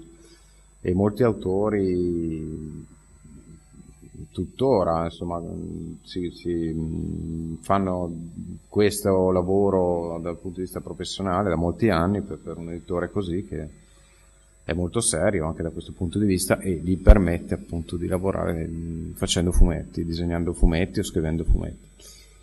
E nel mio caso appunto io ho cercato di gestire questa parte del mio lavoro ehm, che devo dire anche creativamente trovo molto stimolante, sono stato anche fortunato perché non, non, mi è capitato di lavorare tipo a, so, a Tex o a Dylan Dog, cioè a personaggi molto mh, noti ma anche come dire con delle regole molto ferre insomma per quanto riguarda la e rappresentazione, ma ho lavorato su delle serie minori come Napoleone, come Ian Dix, che magari non avete mai neanche visto, però comunque che erano serie Bonelli, uscivano ogni mese o ogni due mesi, ma che, sulle quali c'era un controllo meno, eh, minore, ecco, quindi c'era da parte mia maggiore libertà di magari di, so, di cambiare una scena che, che in sceneggiatura o di discuterne con l'autore, no? E, proporre delle idee alternative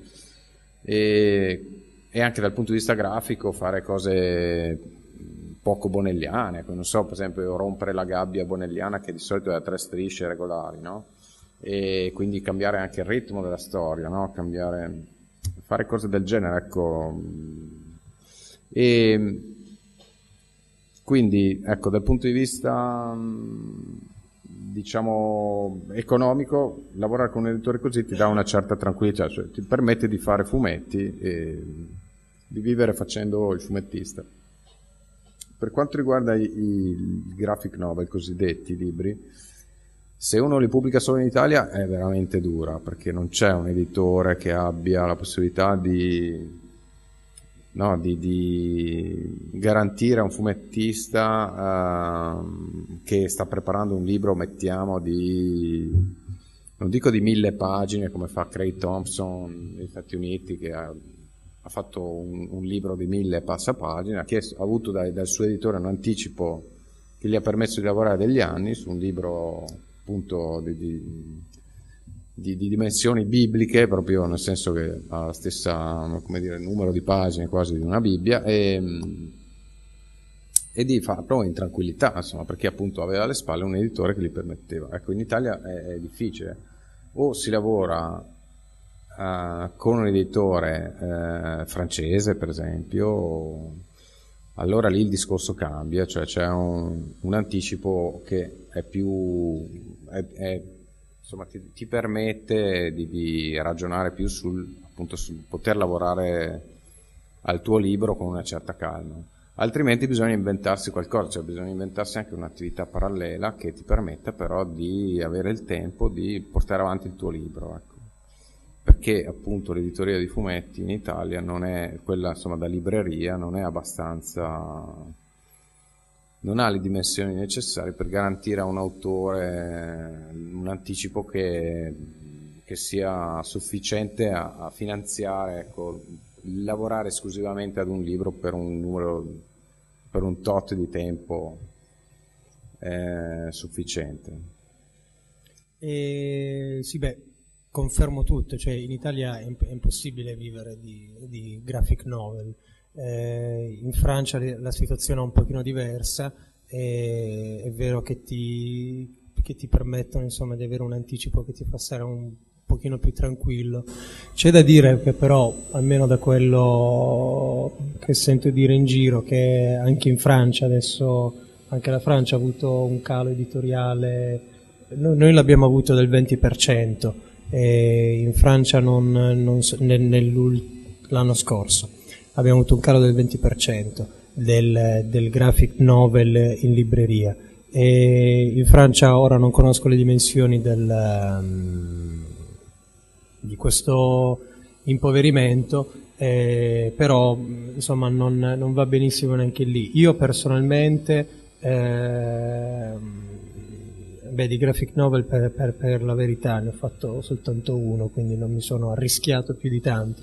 E parallelamente alla, al, al, mestiere di fumettista rimango com, ri, rimanendo in ambito visivo, faccio illustrazioni, faccio grafiche, mi capita anche di fare qualche graphic motion e um, quindi insomma si, si cerca di, di, inventarsi lo stipendio ogni, ogni mese eh, facendo eh, trovando insomma mh, prolungamenti eh, del, della, dell'attività di fumettista andando a invadere altri, altri campi, altri settori. Quindi mh, Paolo ha, ha, ha, una storia diversa e, e, vive, penso, insomma, soltanto del mestiere di, di fumettista. Non, Uh, sì, non hai una no, seconda vita, insomma. No, no, non sono ancora arrivato a prostituirmi, ma... Um, Io invece ci sono quasi. Perlomeno non in maniera diretta. questa notizia. In maniera magari intellettuale, ma non diretta. Ehm, no, mi capita di tanto in tanto di fare anche lavori di illustrazione, questo sì, di... Uh, Insomma, Beh sì, ma questo in generale un po' tutti i E credo che sia, sì, eh, credo che sia una parte del nostro lavoro, magari capita che, non so, l'editore, per esempio Feltrinelli, ho visto stamattina c'era una copertina che ho fatto di un libro Feltrinelli o capita di fare un manifesto per una manifestazione. Um, oppure per, uh, non so, per un uh, Deplian fare un disegno, ecco, che, cose del genere, ecco, può succedere, sono lavori che si fanno normalmente, ecco, e rientra nell'ordine delle cose. Non so se ci sono nel frattempo delle altre domande. Se no io farei un'altra, diciamo, un'altra mezz'oretta così di, di chiacchierata e volevo anche che spiegaste qual era l'idea originaria di workshop in maniera che magari in un altro momento riusciamo a realizzarlo prendendo delle, anche delle iscrizioni. Qual era l'idea che avreste svolto oggi? Ma l'idea era, era quella appunto di, di- di simulare una commissione frenetica, di un, ehm, e quindi eh, portare eh, i partecipanti al workshop eh, a, a costruire, a, a- ideare, costruire e disegnare e magari anche colorare una storia di, di- di- di due pagine in, in due ore. Naturalmente quando c'è poco tempo per consegnare una cosa sono consentiti tu- tutti gli escamotage di questo mondo per, eh, per chiudere una cosa in due ore senza di- diventare matti. E, mh, l'idea era appunto quella di eh, dare due ore di tempo eh, su tre tracce da- che il partecipante avrebbe potuto scegliere. La prima era appunto eh, quella della, della realizzazione di, di due tavole per l'inserto del Sole 20, eh, sì, del Sole 24 del Corriere della Sera, la lettura, quindi due tavoloni che vanno a, poi, lo dicevi anche tu prima, eh, eh, lì diventa mm, impegnativo perché cioè, i fumetti sono così, il, il- il formato del quotidiano è gigantesco e sembra di tornare alla- ai primi anni del Novecento, quando i pionieri del fumetto, quando il, il fumetto è nato sulle pagine dei, dei giornali, poi ci sono milioni di storici che, po- che possono contraddirmi perché è aperta ancora questa cosa, non si sa quando è nato il fumetto.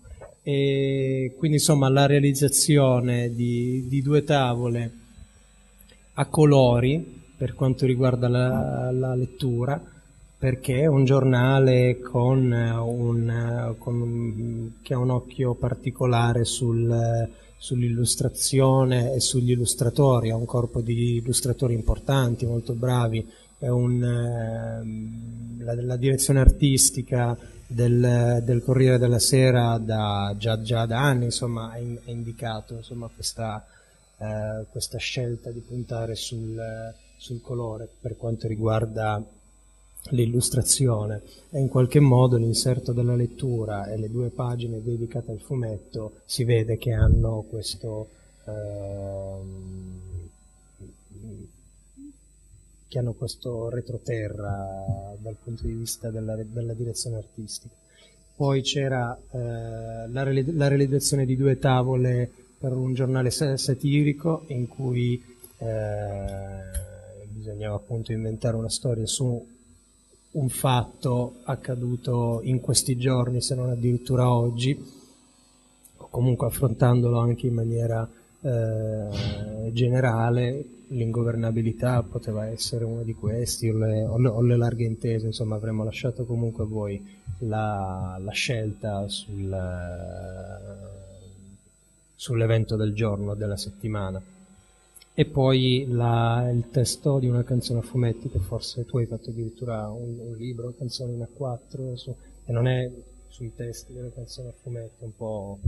però Sì, l'idea era di prendere appunto una canzone.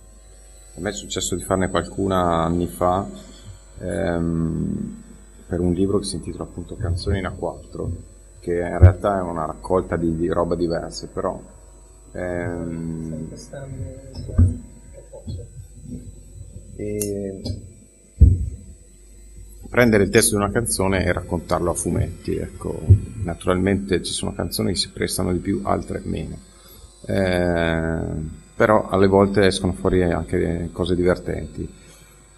È una cosa che hanno fatto, non, ho fatto solo io, hanno fatto anche autori ben più importanti. Viene in mente Robert Crumb che ha fatto dei fumetti molto belli appunto facendo questo lavoro di uh, partendo da una canzone a raccontare appunto usando il testo appunto come eh, sceneggiatura per il proprio fumetto e questo ecco, era un esercizio che poteva essere divertente da fare anche in un tempo ristretto, insomma limitato. Parlando poi di editoria e di editori, quindi, eh, questo non è un periodo buono neanche per gli editori di libri. Eh, voi avete lavorato entrambi, avete collaborato entrambi con eh, Coconino Press eh, che rappresenta comunque un unicum sul, sul territorio nazionale, ehm, con i suoi pro e con i suoi contro, tra l'altro. Eh, volevo che faceste una piccola analisi anche di qual è il sistema editoriale, eh, come funziona in questo momento, quali sono le, le, le sue caratteristiche in Italia, eh, qual, è, qual, è, anche il gap per esempio rispetto a quello che succede in Francia o in Inghilterra e eh, una possibile addirittura mh, soluzione, come vedete, cioè quali vedete che siano i punti deboli e, e come pensate che si possa eh, insomma, venire a capo di una situazione editoriale che non è eh, davvero idilliaca.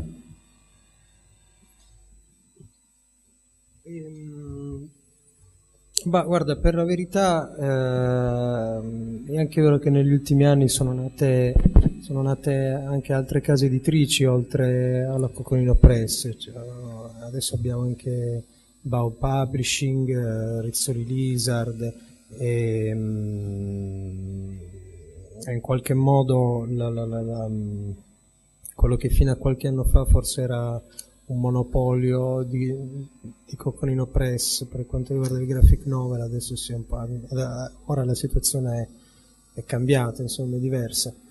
E per me lavorare con Coconino o con Atrabil in Francia significa um,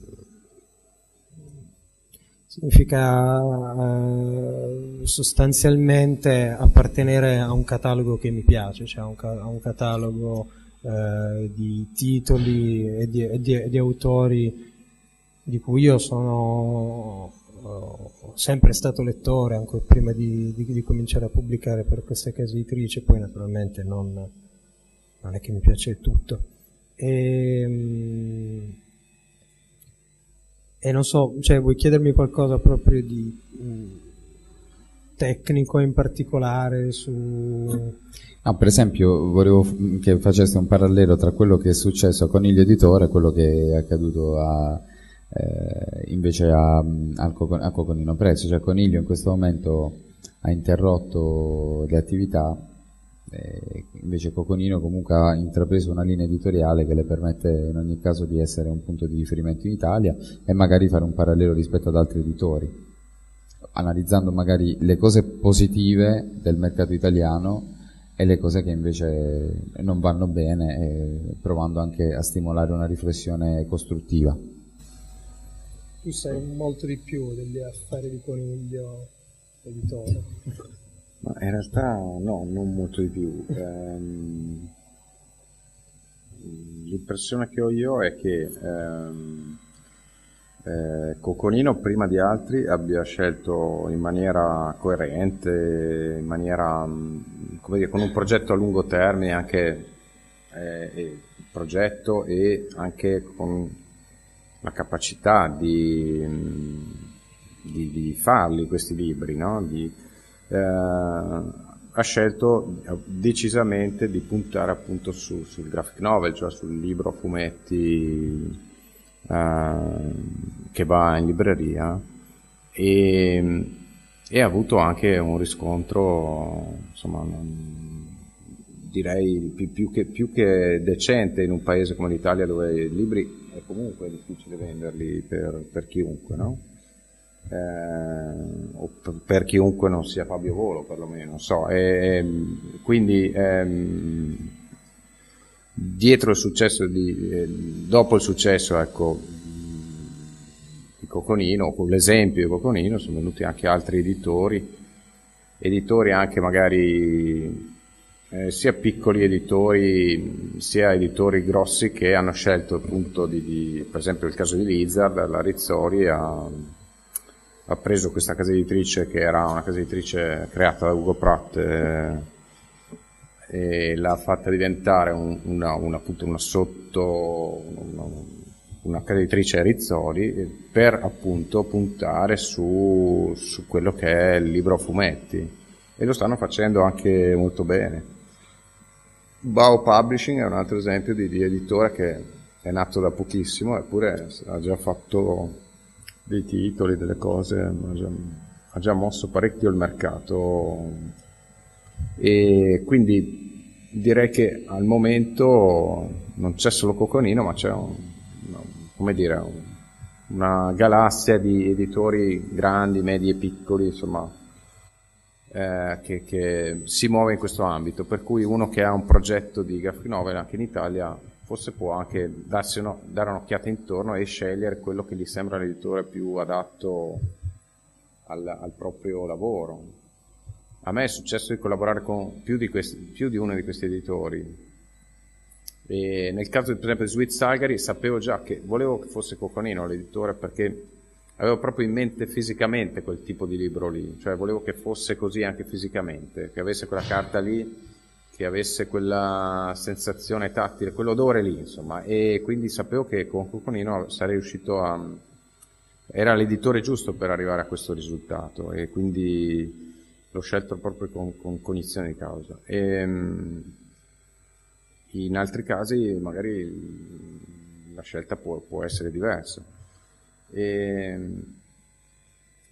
nel caso di Coniglio il discorso è diverso. Coniglio è un editore sui generis che, al quale tra l'altro io devo anche qualcosa perché più o meno a metà degli anni 90 ero, era il mio unico editore e all'epoca Coniglio faceva una rivista di fumetti uh, erotica cosiddetta che si chiamava Blue, però era un editore dire, a cui piacevano i fumetti, per cui non era obbligatorio disegnare tette e culi ecco, nei propri fumetti per essere pubblicati su Blue.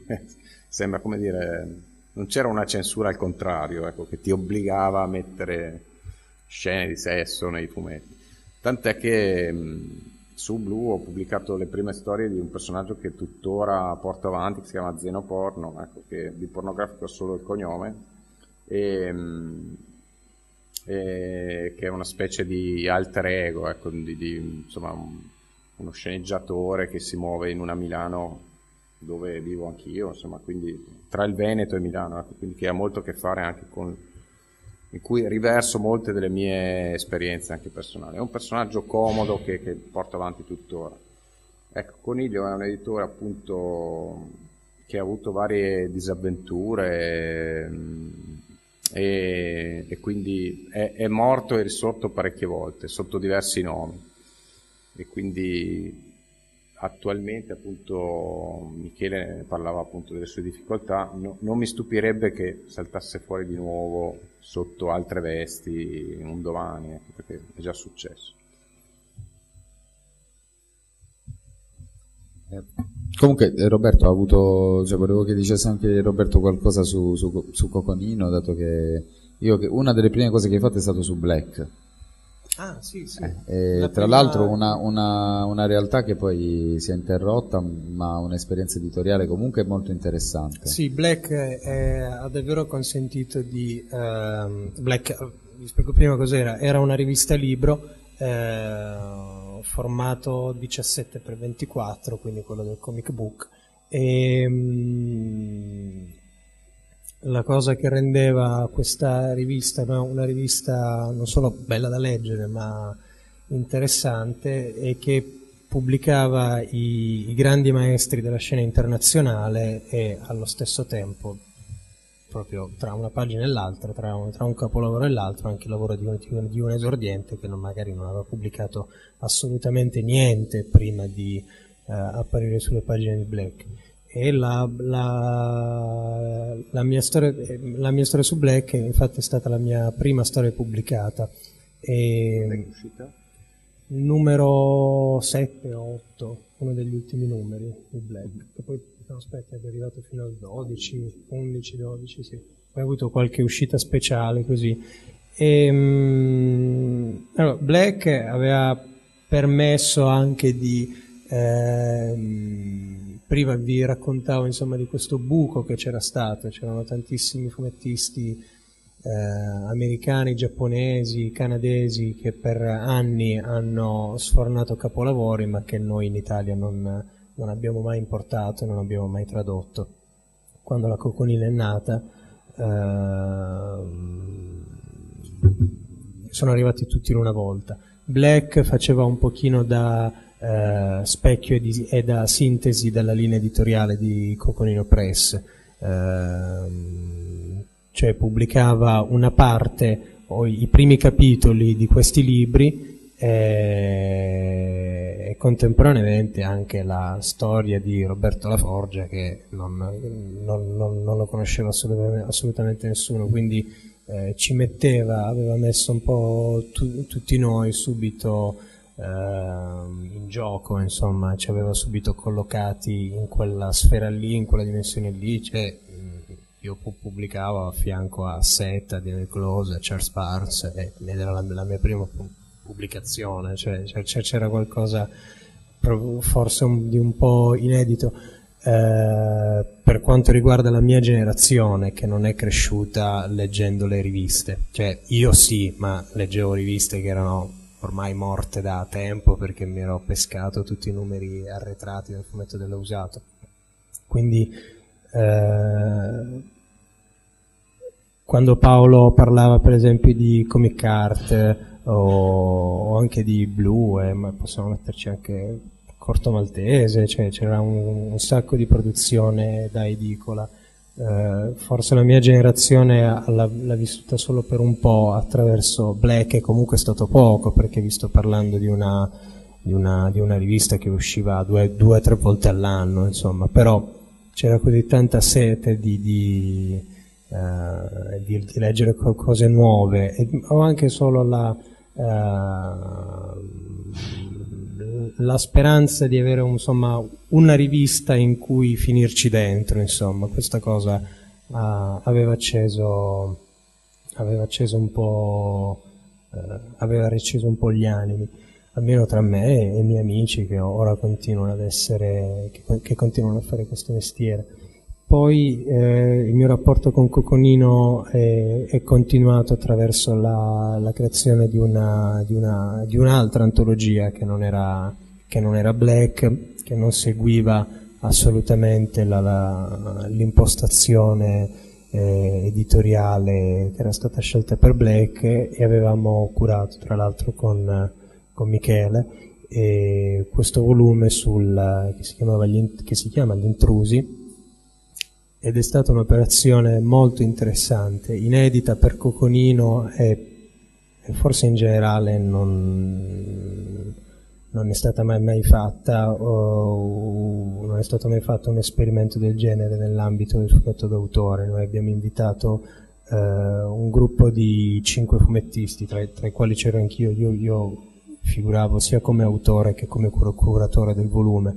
Abbiamo invitato cinque fumettisti nella provincia di Bari per eh, qualche giorno con eh, eh, lo scopo insomma di fargli scrivere delle storie inventate, quindi non di cronaca o di leggende baresi, cose del genere, storie eh, inventate da loro e, mm, da, da- da fare a fumetti e da ambientare su, nei territori che, che- che- avevano, visi- che- che avevano visitato. Contemporaneamente eh, c'erano anche degli inserti eh, di, di natura diversa, avevamo inserito anche una galleria di ex voto. Ora purtroppo non ho qui le, le pagine degli intrusi. Ehm, forse sì, E- anzi sì, però devo beccare. Ehm, Coconino. Coconino, sì, sì. Io Sì, sì. pensavo, eh, un po' di... Eh, se, se ce l'hai al volo perché quelli altrimenti... di chiacchio. Ah, va, va benissimo. Ehm, insomma, la, la cosa che è piaciuta di questo esperimento è che eh, è un esperimento del 2007 ehm, è piaciuta la, la- la- la scelta del- del- degli autori ehm, assegnati a un compito che è quello di eh, girare per l'Italia e scrivere una storia su una città in particolare o su un paese di provincia in particolare che non, che non era molto comune nel- nella comunità del, del fumetto d'autore, almeno per come l'abbiamo vista noi, questo è quello che ci è stato detto. il motivo per cui eh, è piaciuto un po' questa sorta di umiltà dell'autore, cioè quella di mh, alzare il culo, andare a vedere un posto e anziché eh, superando insomma questa, eh, questo luogo comune del, del, dell'autore che sta chiuso a casa sua ad aspettare l'ispirazione. E, mh, dopodiché, dopo, le, dopo, l'esperienza degli intrusi, eh, c'è stato uh, il rapporto con Coconino si è interrotto per un po' di tempo perché io ho cominciato a lavorare sul, sul mio graphic novel e contemporaneamente facendo anche altri lavori e la, il Signore dei Colori è durato, il lavoro del Signore dei Colori è durato circa 5 anni, quindi dal, sì, precisamente dal 2007 al 2012 quando è stato pubblicato. E, mm, e lì col Signore dei Colori, insomma, avevamo, abbiamo stabilito anche un rapporto diverso, anche perché era, anche perché era una, una monografia. Gli intrusi forse è stata la cosa più, um, più bella che ho fatto, cioè dal punto di vista di, di, di ideazione editoriale, di progettazione, perché ehm, eh, oltre alla, alla scelta degli autori, insomma, che erano gli autori che ci piacevano, che continuano a piacerci naturalmente, e ci piaceva proprio l'idea di raccontare un territorio superando gli, ste- gli, gli, stereotipi che per forza di cose si vengono a creare in tutte le parti di questo mondo. E, mh, mm, c'era il rischio, avremmo potuto fare un libro eh, pseudo di, prom- di, pseudo promozione al turismo nella regione Puglia, o avremmo potuto fare eh, il solito eh, fumetto eh, noir che deve vedere per, per, forza le regioni del sud eh, sotto minacciate dalla cappa della mafia.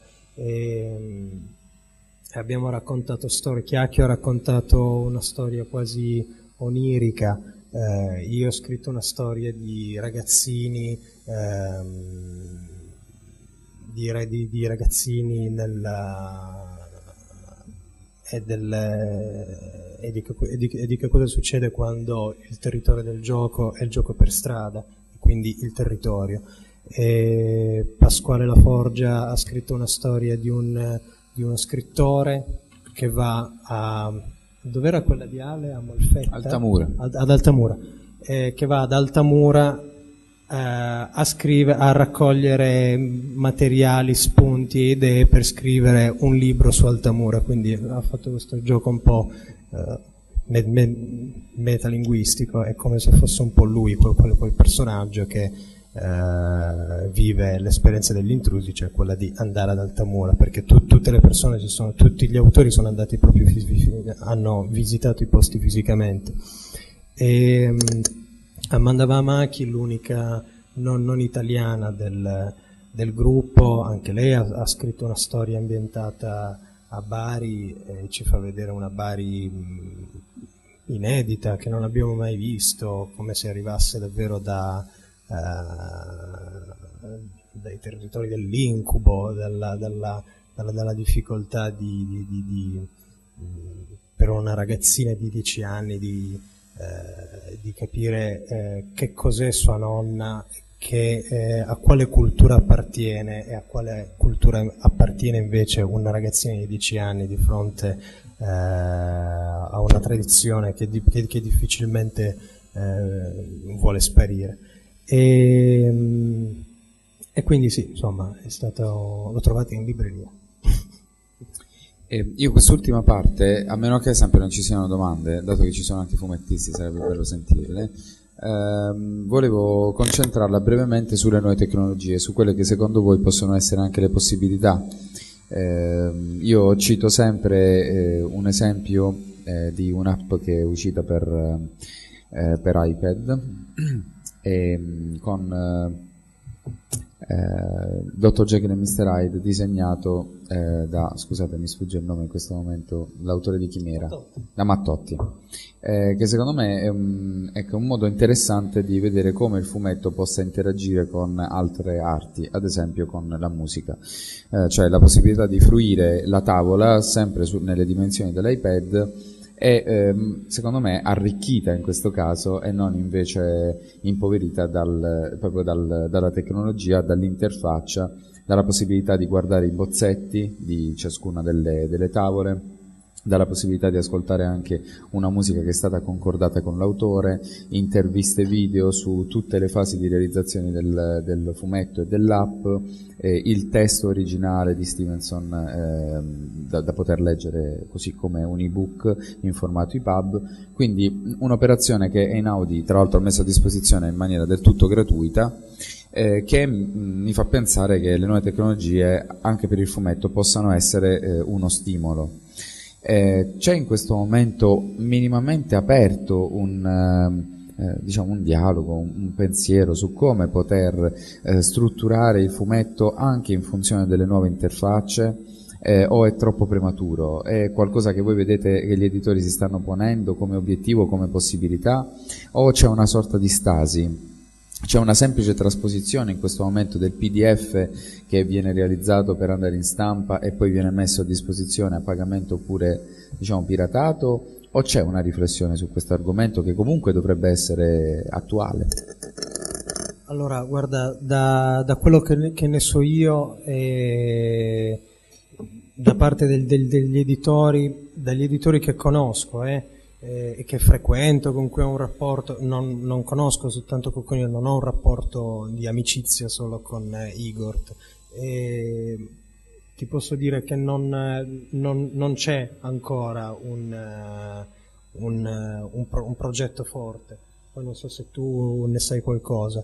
E, um, qualcosina è stata fatta, però c'è sempre un rischio. Io, io, io non sono un grande amatore di quell'applicazione di, del dottor Jekyll e Mr. Hyde, per quanto mi piaccia il lavoro di Mattotti, perché c'è ehm, costruire un'app ehm, quando si costruisce un'app per contenuti eh, di fumetto o di illustrazione c'è sempre il rischio di cadere nel, eh, in Alice del, nel Paese delle Meraviglie. Insomma, che siccome ci puoi mettere tutto, allora ci metti tutto. Cioè ci metti il testo originale, ci metti la musica, ci metti gli schizzi, eh, ci metti le matite, ci metti l'intervista all'autore.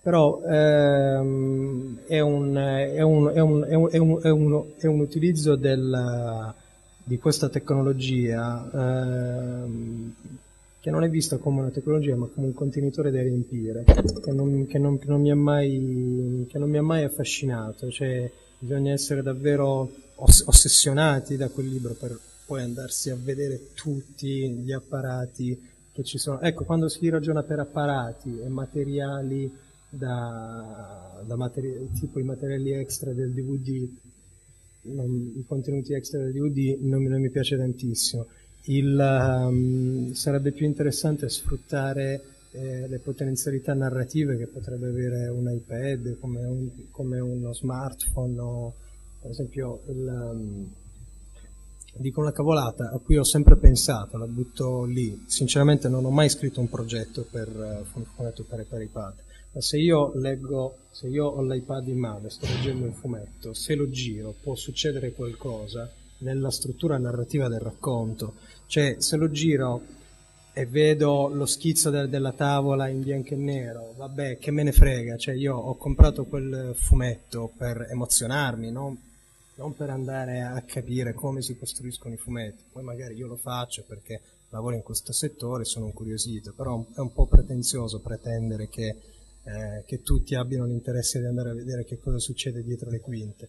Ecco, quando ci sarà da parte di autori, perché poi gli autori li devono fare autori, editori e programmatori e pensatori insomma di, di, di, di materiali per, per, per, per, la rete, la, la volontà di, costruire per la rete, scusate, non devono essere necessariamente eh, contenuti online.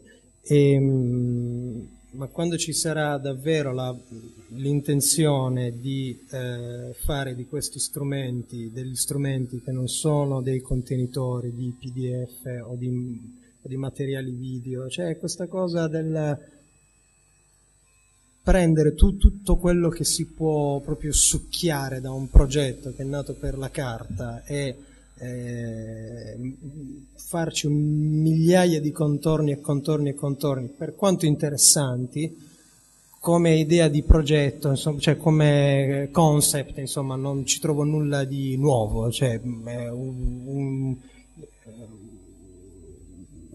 una rivista, un libro può, può dei, dei, può avere un, un, pensiero editoriale dietro molto più contemporaneo e più fresco probabilmente di un'applicazione che si dice nuova perché ti fa vedere il video.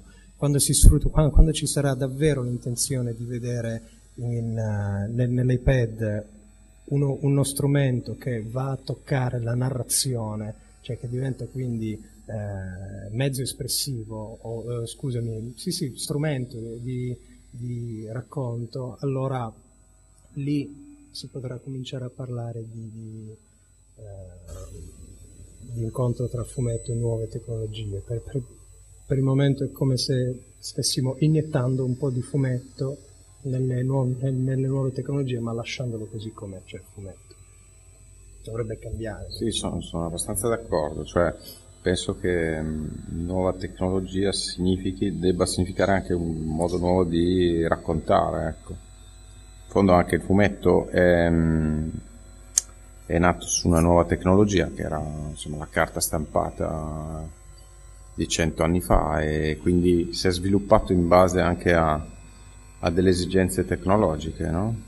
cento anni fa non, non erano ancora formalizzati neanche i crash, i bang che, che adesso prendiamo, andiamo per scontati, insomma ci è voluto del tempo e appunto una base tecnologica stabile che era la carta per eh, arrivare appunto a fare narrazione con questi elementi. E, mm, e, lo stesso penso succederà con appunto un nuovo supporto e in questo momento siamo appunto in, in una sorta di guado, no? Cioè, siamo ancora a metà, con un piede da una parte e uno dall'altra. Quindi ehm, penso che mm, anch'io, cioè quello che ho visto finora anch'io non, non lo trovo entusiasmante, cioè voglio dire, non trovo che eh, vedere un fumetto su un tablet, eh, eccetera, mi dà delle emozioni diverse, nuove e maggiori rispetto al vederlo sulla carta. Ecco. Mi sembra una trasposizione e basta. Sai cosa? Forse l'unica cosa interessante che avevo visto, per, per, la verità un po' di anni fa, era sul sito di Scott McCloud, mm-hmm. c'erano dei suoi, penso li chiamasse webcomics o qualcosa del genere, in cui se, se andate sul sito di Scott McCloud dovreste trovare questi materiali perché spiegarli a voce era un po' complesso.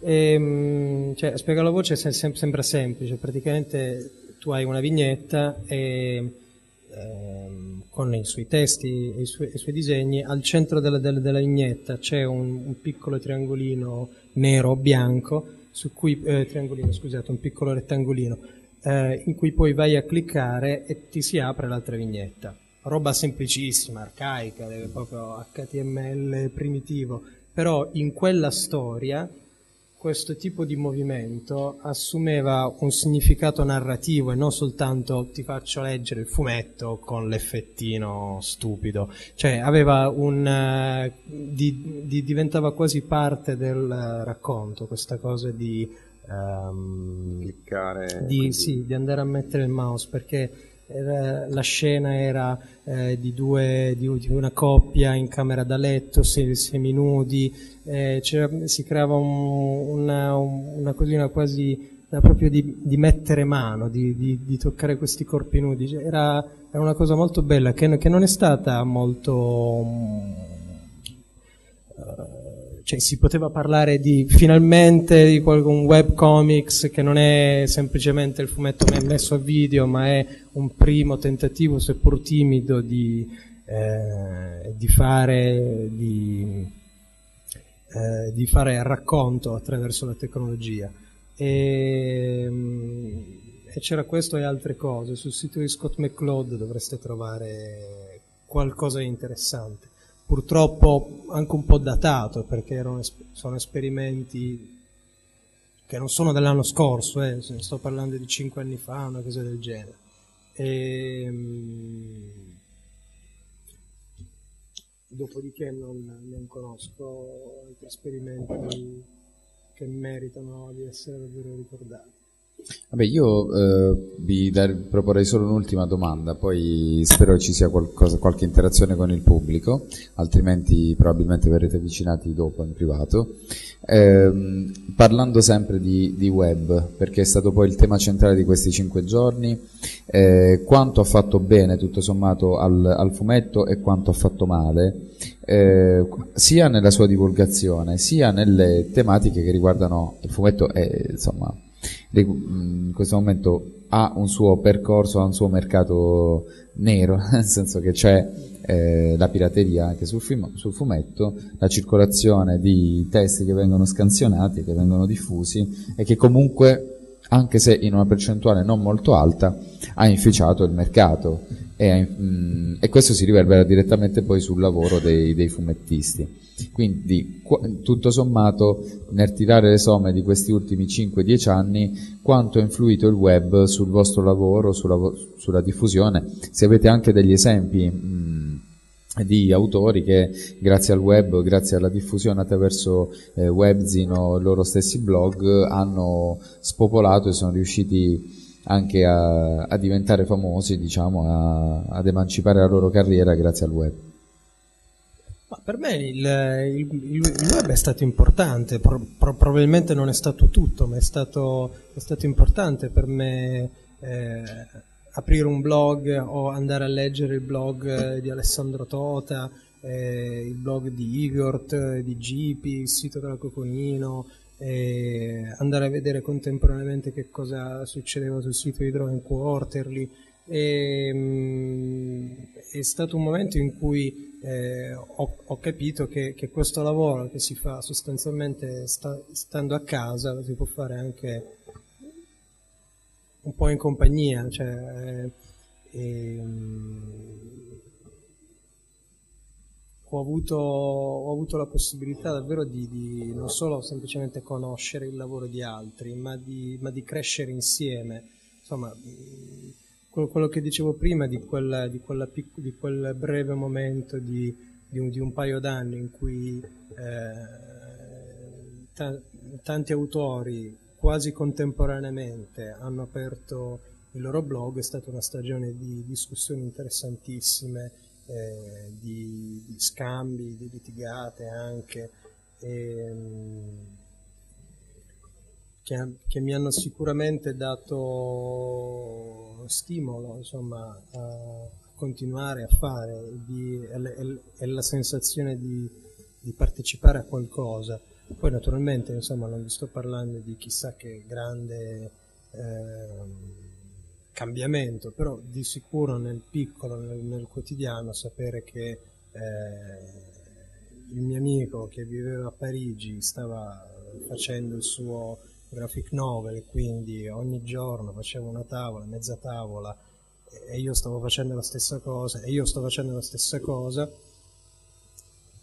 come dire, ti dà forza, ti, ti, ti, ti dà coraggio, soprattutto quando devi lavorare su un progetto, su un progetto lungo, in cui sei praticamente da solo, dalla mattina alla sera, in cui eh, nella maggior parte dei casi eh, lavori nella tua stessa, cioè lavori a casa, quindi non, non, non, non esci neanche mai di casa e, e, quindi ha avuto sicuramente una, una rilevanza importante.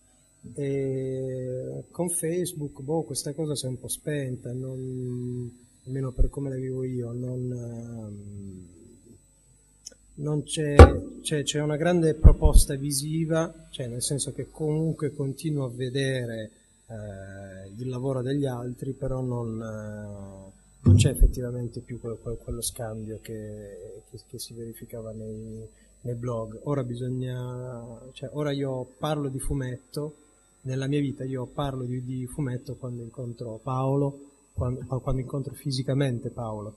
E, mh, voglio davvero proprio sfatare questo mito. Non, pro, pro, probabilmente nel nostro settore eh, il blog era un formato che funzionava, e...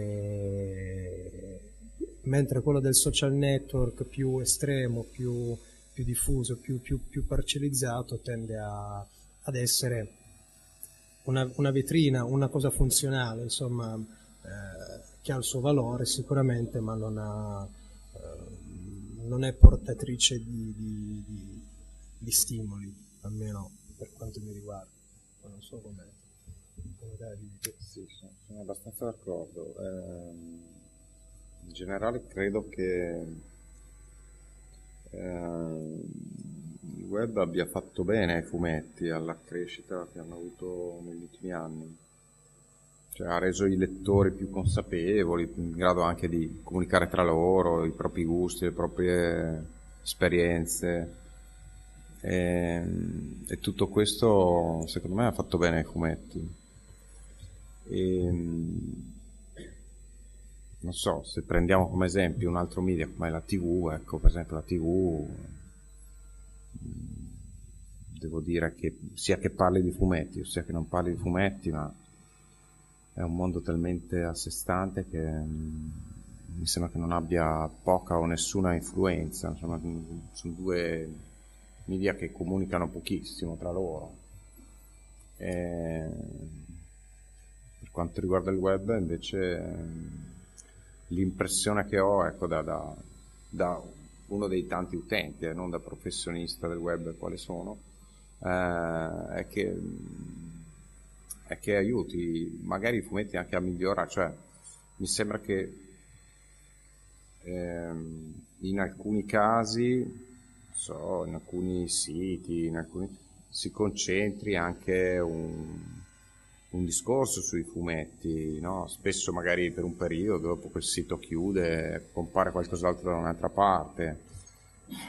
E, però comunque c'è uno spazio ecco, dove si discute di fumetti, si discute di autori di fumetti passati, presenti, e si recensiscono i fumetti, ecco, cose così.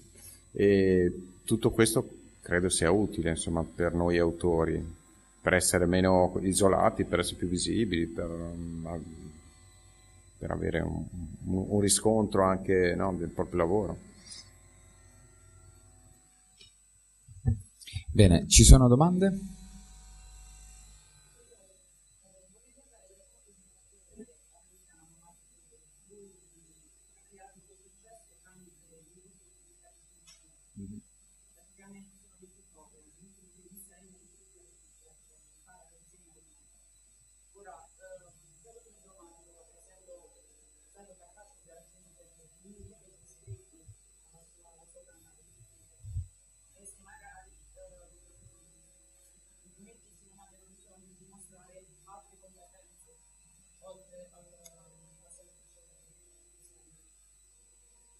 Competenze didattiche, per esempio, cioè di sapere...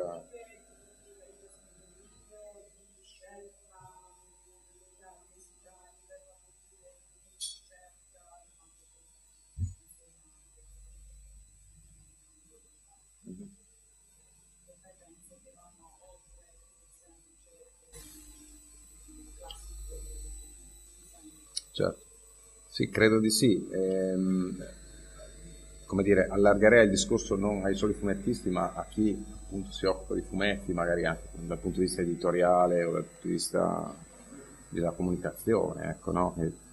è sempre più necessario saper usare mezzi di questo genere per uh, promuovere il proprio lavoro, per uh, arrivare a un maggior numero di lettori. Quindi sicuramente il discorso riguarda sia i fumettisti, ma riguarda anche chi opera nel settore editoriale dei fumetti e non conosco questo autore che, di cui parli, e, mm, andrò a vedermelo. E, sì, senz'altro, come dire, un sistema, è una delle tante possibilità insomma, che ci sono adesso. Per...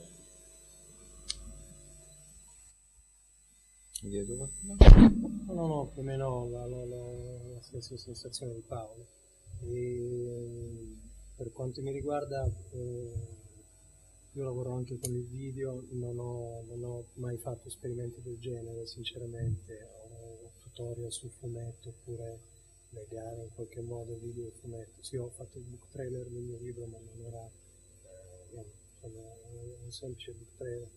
E, Ah, scusa, ho fatto il book trailer, sì, ma non, um, non ho mai avuto una, una, una, una produzione costante sul, sul versante eh, fumetto più altre competenze. E credo che sia anche, sai, forse un modo per, um,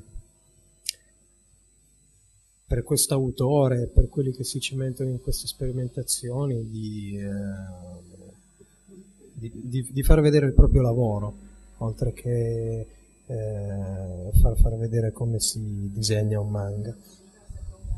Sì, sì, ma sì, sì, non, non, lo dico con, eh, con pregiudizio, non, eh, anzi, magari tutti avessero delle idee inter- interessanti come, queste per promuovere il proprio lavoro, almeno eh, si può comunque parlare di una eh, una, della proposta di un servizio didattico che poi chiar, chiar, chiaramente va a giocare anche a favore di chi lo propone.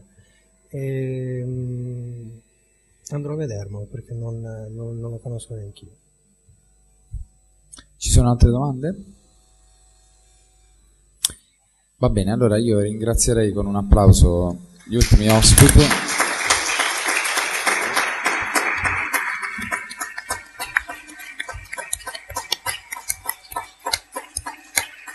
Grazie.